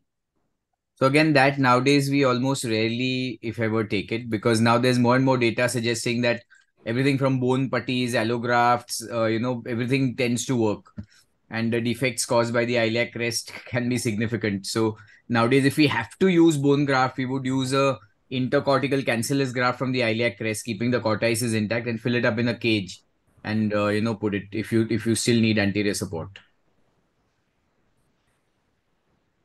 Any sir? other questions? Sir, Yes. uh, yes, sir. Uh, uh, expandable cages versus mesh cages in TB. I think expandable cages should not be used per se. You know, they, they should be your escape route because expandable cages have two major problems. One is that they lose their, uh, you know, tensile strength. I mean, their actual compressibility strength the minute you expand them or you deploy them because that hinges on one small screw. And the other is that the bone graft inside no longer holds. Like you pack an expandable cage with bone graft, the minute you expand it, the bone graft is no longer bridging. So it's full of small gaps. So if you're not able to, you've tried hard and not able to put your thread your cage from the back, then you probably resort to an ex- expandable cage, but don't primarily commit yourself to an expandable cage. Yeah, and uh, again, crosslink versus no cross link. So cross link definitely will add stability to your posterior construct, but uh, you know from today's uh, you know situation, it, it the expenses are very high. So you would use it if you have for some reason left an anterior column poorly supported and not want not closed it or not filled it. And or if you think in the child especially the screw hold with the plastic bones is not so good then you may want to add one or even two uh, cross links. Shiva? Post-operative post-operative protocol for after fixing with the pedicle screws how will you mobilize and when asap like asap like immediately the same day or next day like there's no after you're fixed and after you've reconstructed, there's absolutely no need to re, uh, bed rest the patient. I mean, the entire game is to get him out of bed early. And somebody asked in the beginning that if it's a young patient with pain, would you want to prefer to operate him? I would rather say that if it's an old patient with pain, you'd rather operate him and get him out of bed because, as our study and many others have shown, people who are older with higher frailty scores should not be kept in bed for longer. The mortality rate significantly increases, just like a hip fracture. So, as an older person, you try to mobilize him fast with a quick reconstruction uh, and a surgery. Shiva, your question? Uh, this is regarding one of my case, uh, which I saw recently. There was this patient who was 19 years old who was biopsy proven uh, spine. And one year later, he got a new MRI showed that the resolution was not there and there was a still persisting disease and uh, he had a severe back claudication without any deficit. And we suggested him a repeat biopsy, and repeat biopsy showed there is no resistance as such. And this time he had a spina ventosa of both up hand as well as his ankle. So what would be your approach for that patient, sir? Continue the continue again the same regimen, or offer surgery since there is a back claudication and it, no no instability pain as such. And yeah. you're saying the second biopsy confirmed that there's active tuberculosis. Yes, sir. Which is very un- unlikely. You know, if it's a primary drug, I mean, a primary TB, and if he's been, uh, you know, regular with his AKT for the first year, there is something wrong somewhere. You know, so it sometimes is just contamination shown in the second biopsy. Um, especially, you know, GeneXpert is uh, pretty, um, uh, pretty prone to contaminations being positive. So if you want to do that kind of a biopsy, you'd rather have a histopath smear and or an LPA to prove, uh, you know, that it's TB, active TB. It's very unlikely that it's a primary TB and the patient has taken good AKT for a year and it's still, um, you know, active TB. In fact, after a year, if it's still active TB, it's almost uh, given that it's an MDR. Regardless of this, you know, I would leave this headache to my physician colleague, but I would uh, treat this patient surgically because he has gross neurology and uh, instability, isn't it? And yes, I would, sir. yeah, I would use surgery as the you know source of massive, you know, significant biopsy to confirm what the histopath or the you know your needle biopsy showed. But it's a tricky situation. I agree. Yes, sir. Thank you, sir. Gaurav. Uh, sir, can you please throw some light on when to decide upon anterior reconstruction or support. So, do we do it only in cases of where I can see some deformity cropping up, or um, is there some indication for that? Basically, if there's an anterior defect, it needs to be addressed. If there's no anterior defect, it need not be addressed. Now, how much is the defect is a very difficult question to answer, and you have to visualize it in 3D. Like one cut may show defect, but circumferentially there should be a bone-to-bone contact. But okay. a significant defect in the front needs to be addressed you could address it by closing the defect, which means that you take away the posterior three, you know, two column osteotomy and close it down to get a get a better opposition, or open it up, in which case you need to fill it. So the uh, you know the two places where you would want to fill uh, do an anterior reconstruction. One is to fill in a defect, and the other is when you want to save segments by minimizing your levels of fixation. So in the lumbar spine, basically. Okay. Okay. Thank you. Thank you.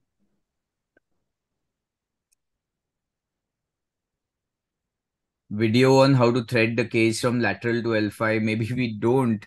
But uh, that the one that I showed you was the only one. You have to undersize the cage. The question is that how do you thread a cage through lumbar roots without cutting the nerve root? So the trick here is that your uh, you know your posterior column also has to be released. You have to size your cage maybe three or four millimeters smaller than your actual size. Use a cervical, you know, thin cage. Don't use a thick cage, not the thoracic cage. A cervical cage, and you know, kind of push it in and straighten it up and then close on that because the lumbar spine is that way mobile it's quite easy to telescopically close the you know and catch catch that cage i think that's the best way that i can describe this uh, technique okay so i think uh, everyone is tired uh, aditya do you want to Excuse me, sir. One question. Can I take one question, please? yes vishal uh, irrespective of the tuberculosis or any backache, means uh, you have seen means our ancestor means those who are senior colleagues, uh, they used to write if any back problem, they'll say stop bending forward. How often do you think means, how relevant it is? Uh, for any back pain or for for tuberculosis any back for any back pain? So again, it uh, you would think of this as a clinical question, and clinically on forward bending, if there's no pain, there is no you know no sense in asking the patient not to bend forward. If it's not an anterior based disease like a disc prolapse or a you know TB for that matter or a vertebral fracture, by bending in the front, you're not going to cause any harm. Like for a facetal stenosis, I mean a facetal effusion or a facetal arthritis or a retro or a prolisthesis, I think bending forward. So basically, I would ask him to bend in my clinic, and if he's easily bending forward, I don't give the instruction not to bend forward. So much so that even after a laminectomy fixation, we don't stop them from bending forward. Thank you, sir. Yeah, thank you. So Aditya, do you want to take uh, charge? Um, we had this tech, uh, third session since we started our uh, virtual fellowship program on TB spine today. I think everyone enjoyed this last two and a half extensive discussion on this hot topic. Uh, I would like to thank uh, all faculty members, Dr. Nene, Dr. Harshal, uh, Sheetal Mohite left uh, because of some reasons he had to leave early, uh, and all delegates uh, who, who were uh, asking questions uh, actively. Also, I would like to thank Dr. Rasmanshu for presenting uh, lovely cases. I would like to thank Ortho TV for their constant support during this fellowship program. We'll be having a fourth session in our series next week. Uh, it will be around about either Wednesday or Thursday. We'll intimate you at at least two or three days. It will be on tumors. And the session will be taken by Dr. Priyank Patel. Uh, and the relevant uh, literature a day or two prior uh, will be posted on the group. So see you again next week. Till that time, uh, take care. Bye. Good night. Thank you. Good night. Good night. Uh, Thank good you, night. sir. Thank you, sir.